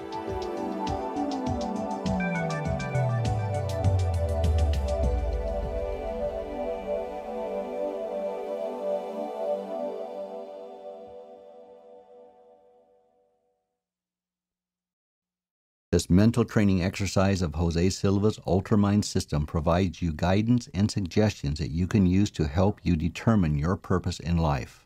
I'm John LaTourette, and I'll be your guide. In the background, you will hear the gentle tapping of the theta sound, a natural sound that will help your brain adjust to lower frequencies. This recording is to be used with eyes closed so do not play it when you are driving or performing any other activity that requires the use of your eyesight. Remember that if, at any time, you feel uncomfortable, readjust your position to make yourself more comfortable. If you feel you must open your eyes for any reason, then open your eyes and make yourself comfortable. If you open your eyes, then go back to the beginning of the recording and start over. Anytime you desire to relax, mentally or verbally repeat the word relax and you will relax physically and mentally. This mind training exercise is adapted from one originally copyrighted by Jose Silva of Laredo, Texas in 1969 after 25 years of research. New material on this recording is copyrighted in the year 2003 by Silva Ultramind Systems. Reproduction for redistribution is strictly prohibited. Now prepare for this exercise by finding a comfortable position.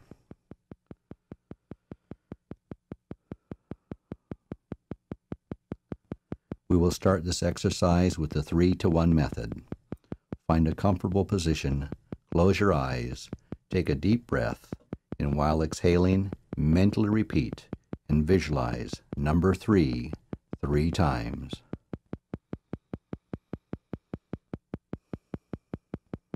To help you learn to relax physically at level 3, I am going to direct your attention to different parts of your body. Relax your scalp. Relax your forehead. Relax your eyes. Relax your face. Relax your throat.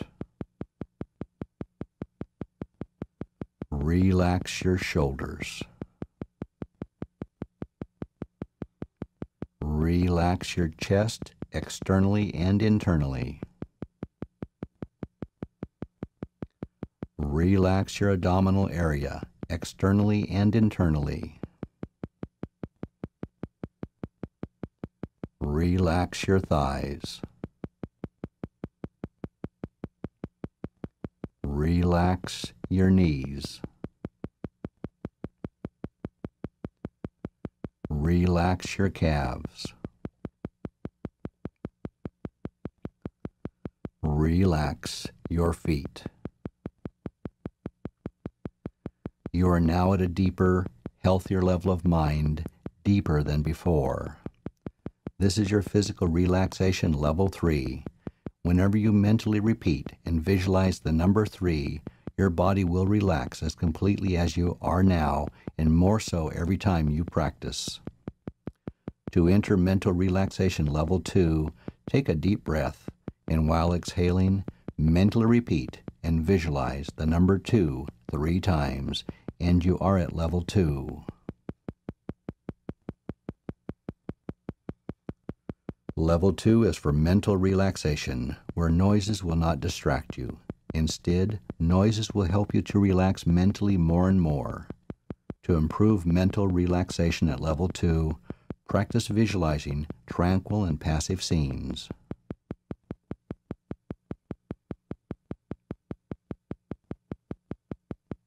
To go to your center, take a deep breath and while exhaling, mentally repeat and visualize the number one three times. You are now at level one, a deeper, healthier level of mind where you can function from your center. To help you enter a deeper, healthier level of mind, I am going to count from 10 to 1. On each descending number, you will feel yourself going deeper, and you will enter a deeper, healthier level of mind. 10, 9, feel going deeper. 8, 7, 6, deeper and deeper. 5, 4, 3, deeper and deeper.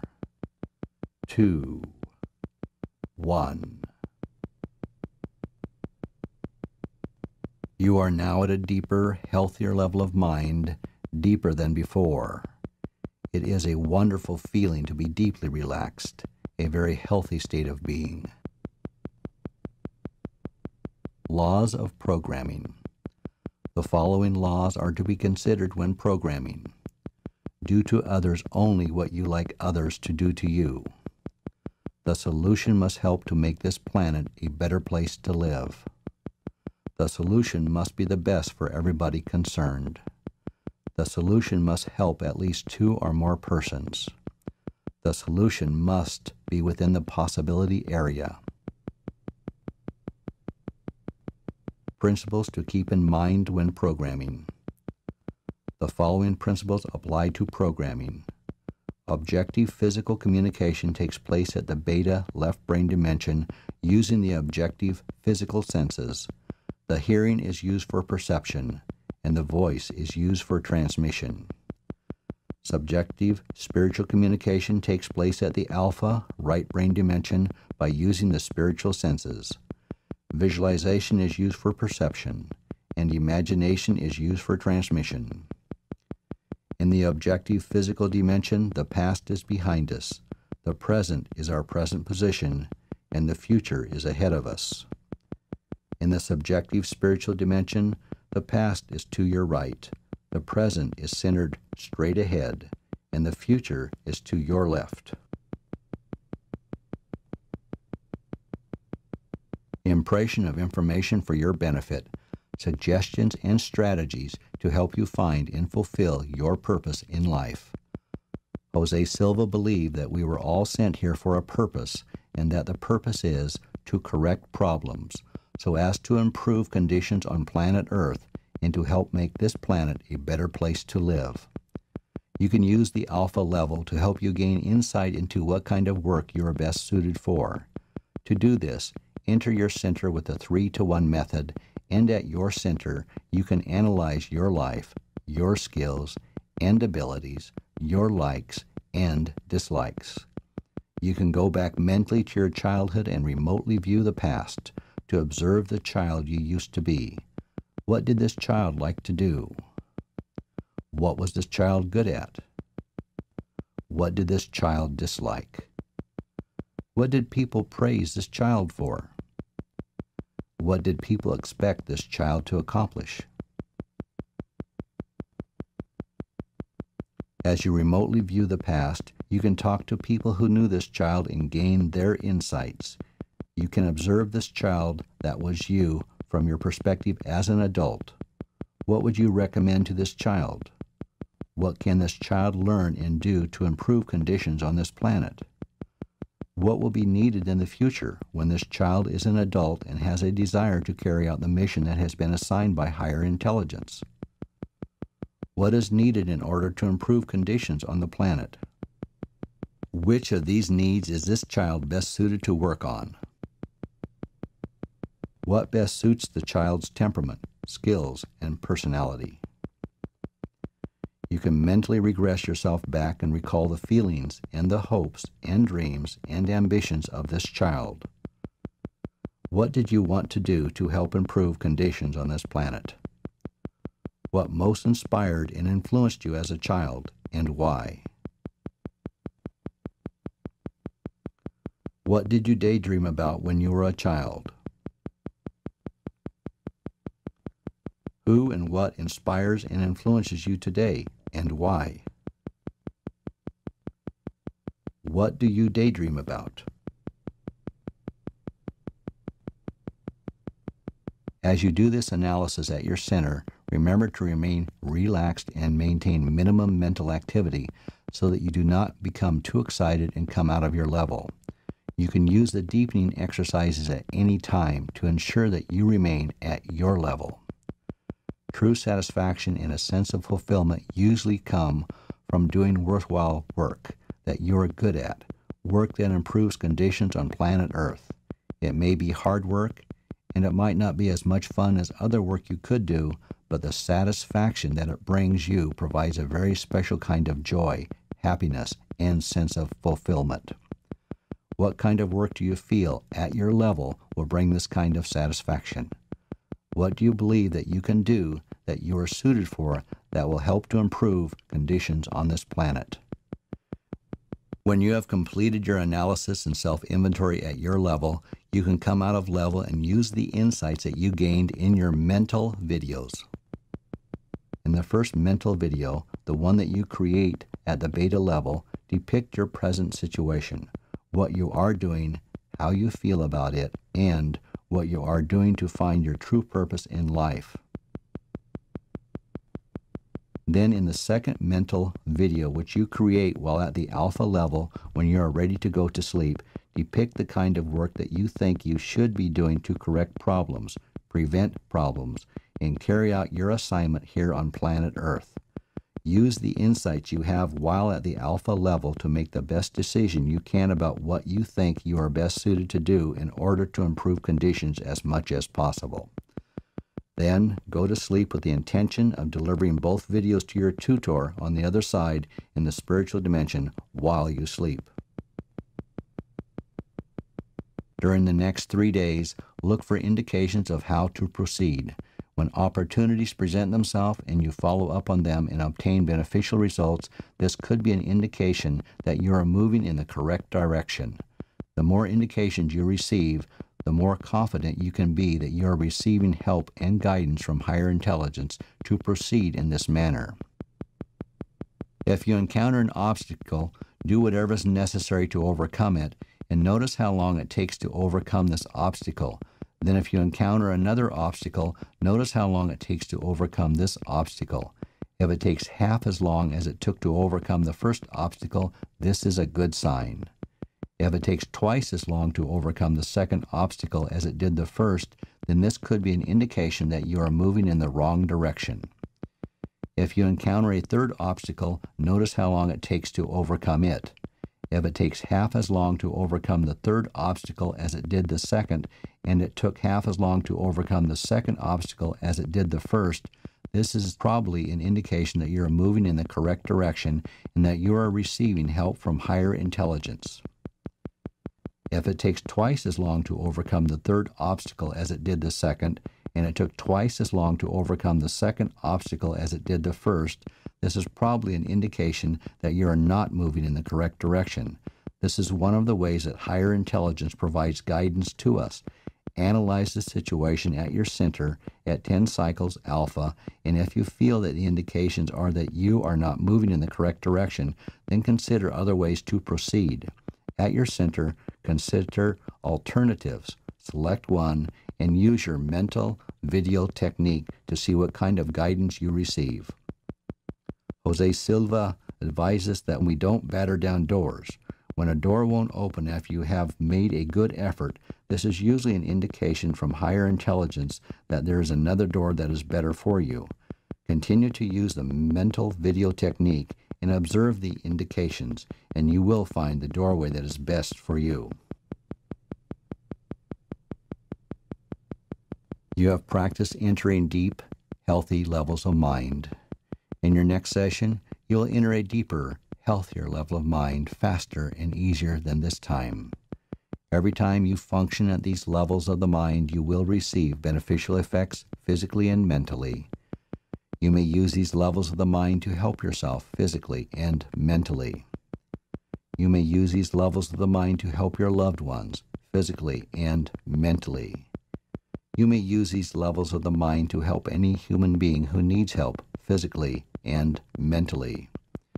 You will never use these levels of the mind to harm any human being. If this be your intention, you will not be able to function within these levels of the mind. You will always use these levels of the mind in a constructive, creative manner for all that is good, honest, pure, clean, and positive, and this is so. You will continue to strive to take part in constructive and creative activities to make this a better world to live in, so that when we move on, we shall have left behind a better world for those who follow. You will consider the whole of humanity, depending on their ages, as fathers or mothers, brothers or sisters, sons or daughters. You are a superior human being. You have greater understanding, compassion, and patience with others. In a moment, I am going to count from one to five. At that moment, you will open your eyes, be wide awake, feeling fine, and in perfect health, feeling better than before. You'll have no ill effects whatsoever in your head, no headache, no ill effects whatsoever in your hearing, no buzzing in your ears, no ill effects whatsoever in your vision and eyesight. Vision, eyesight, and hearing improve every time you function at these levels of the mind. One, two, coming out slowly now. Three.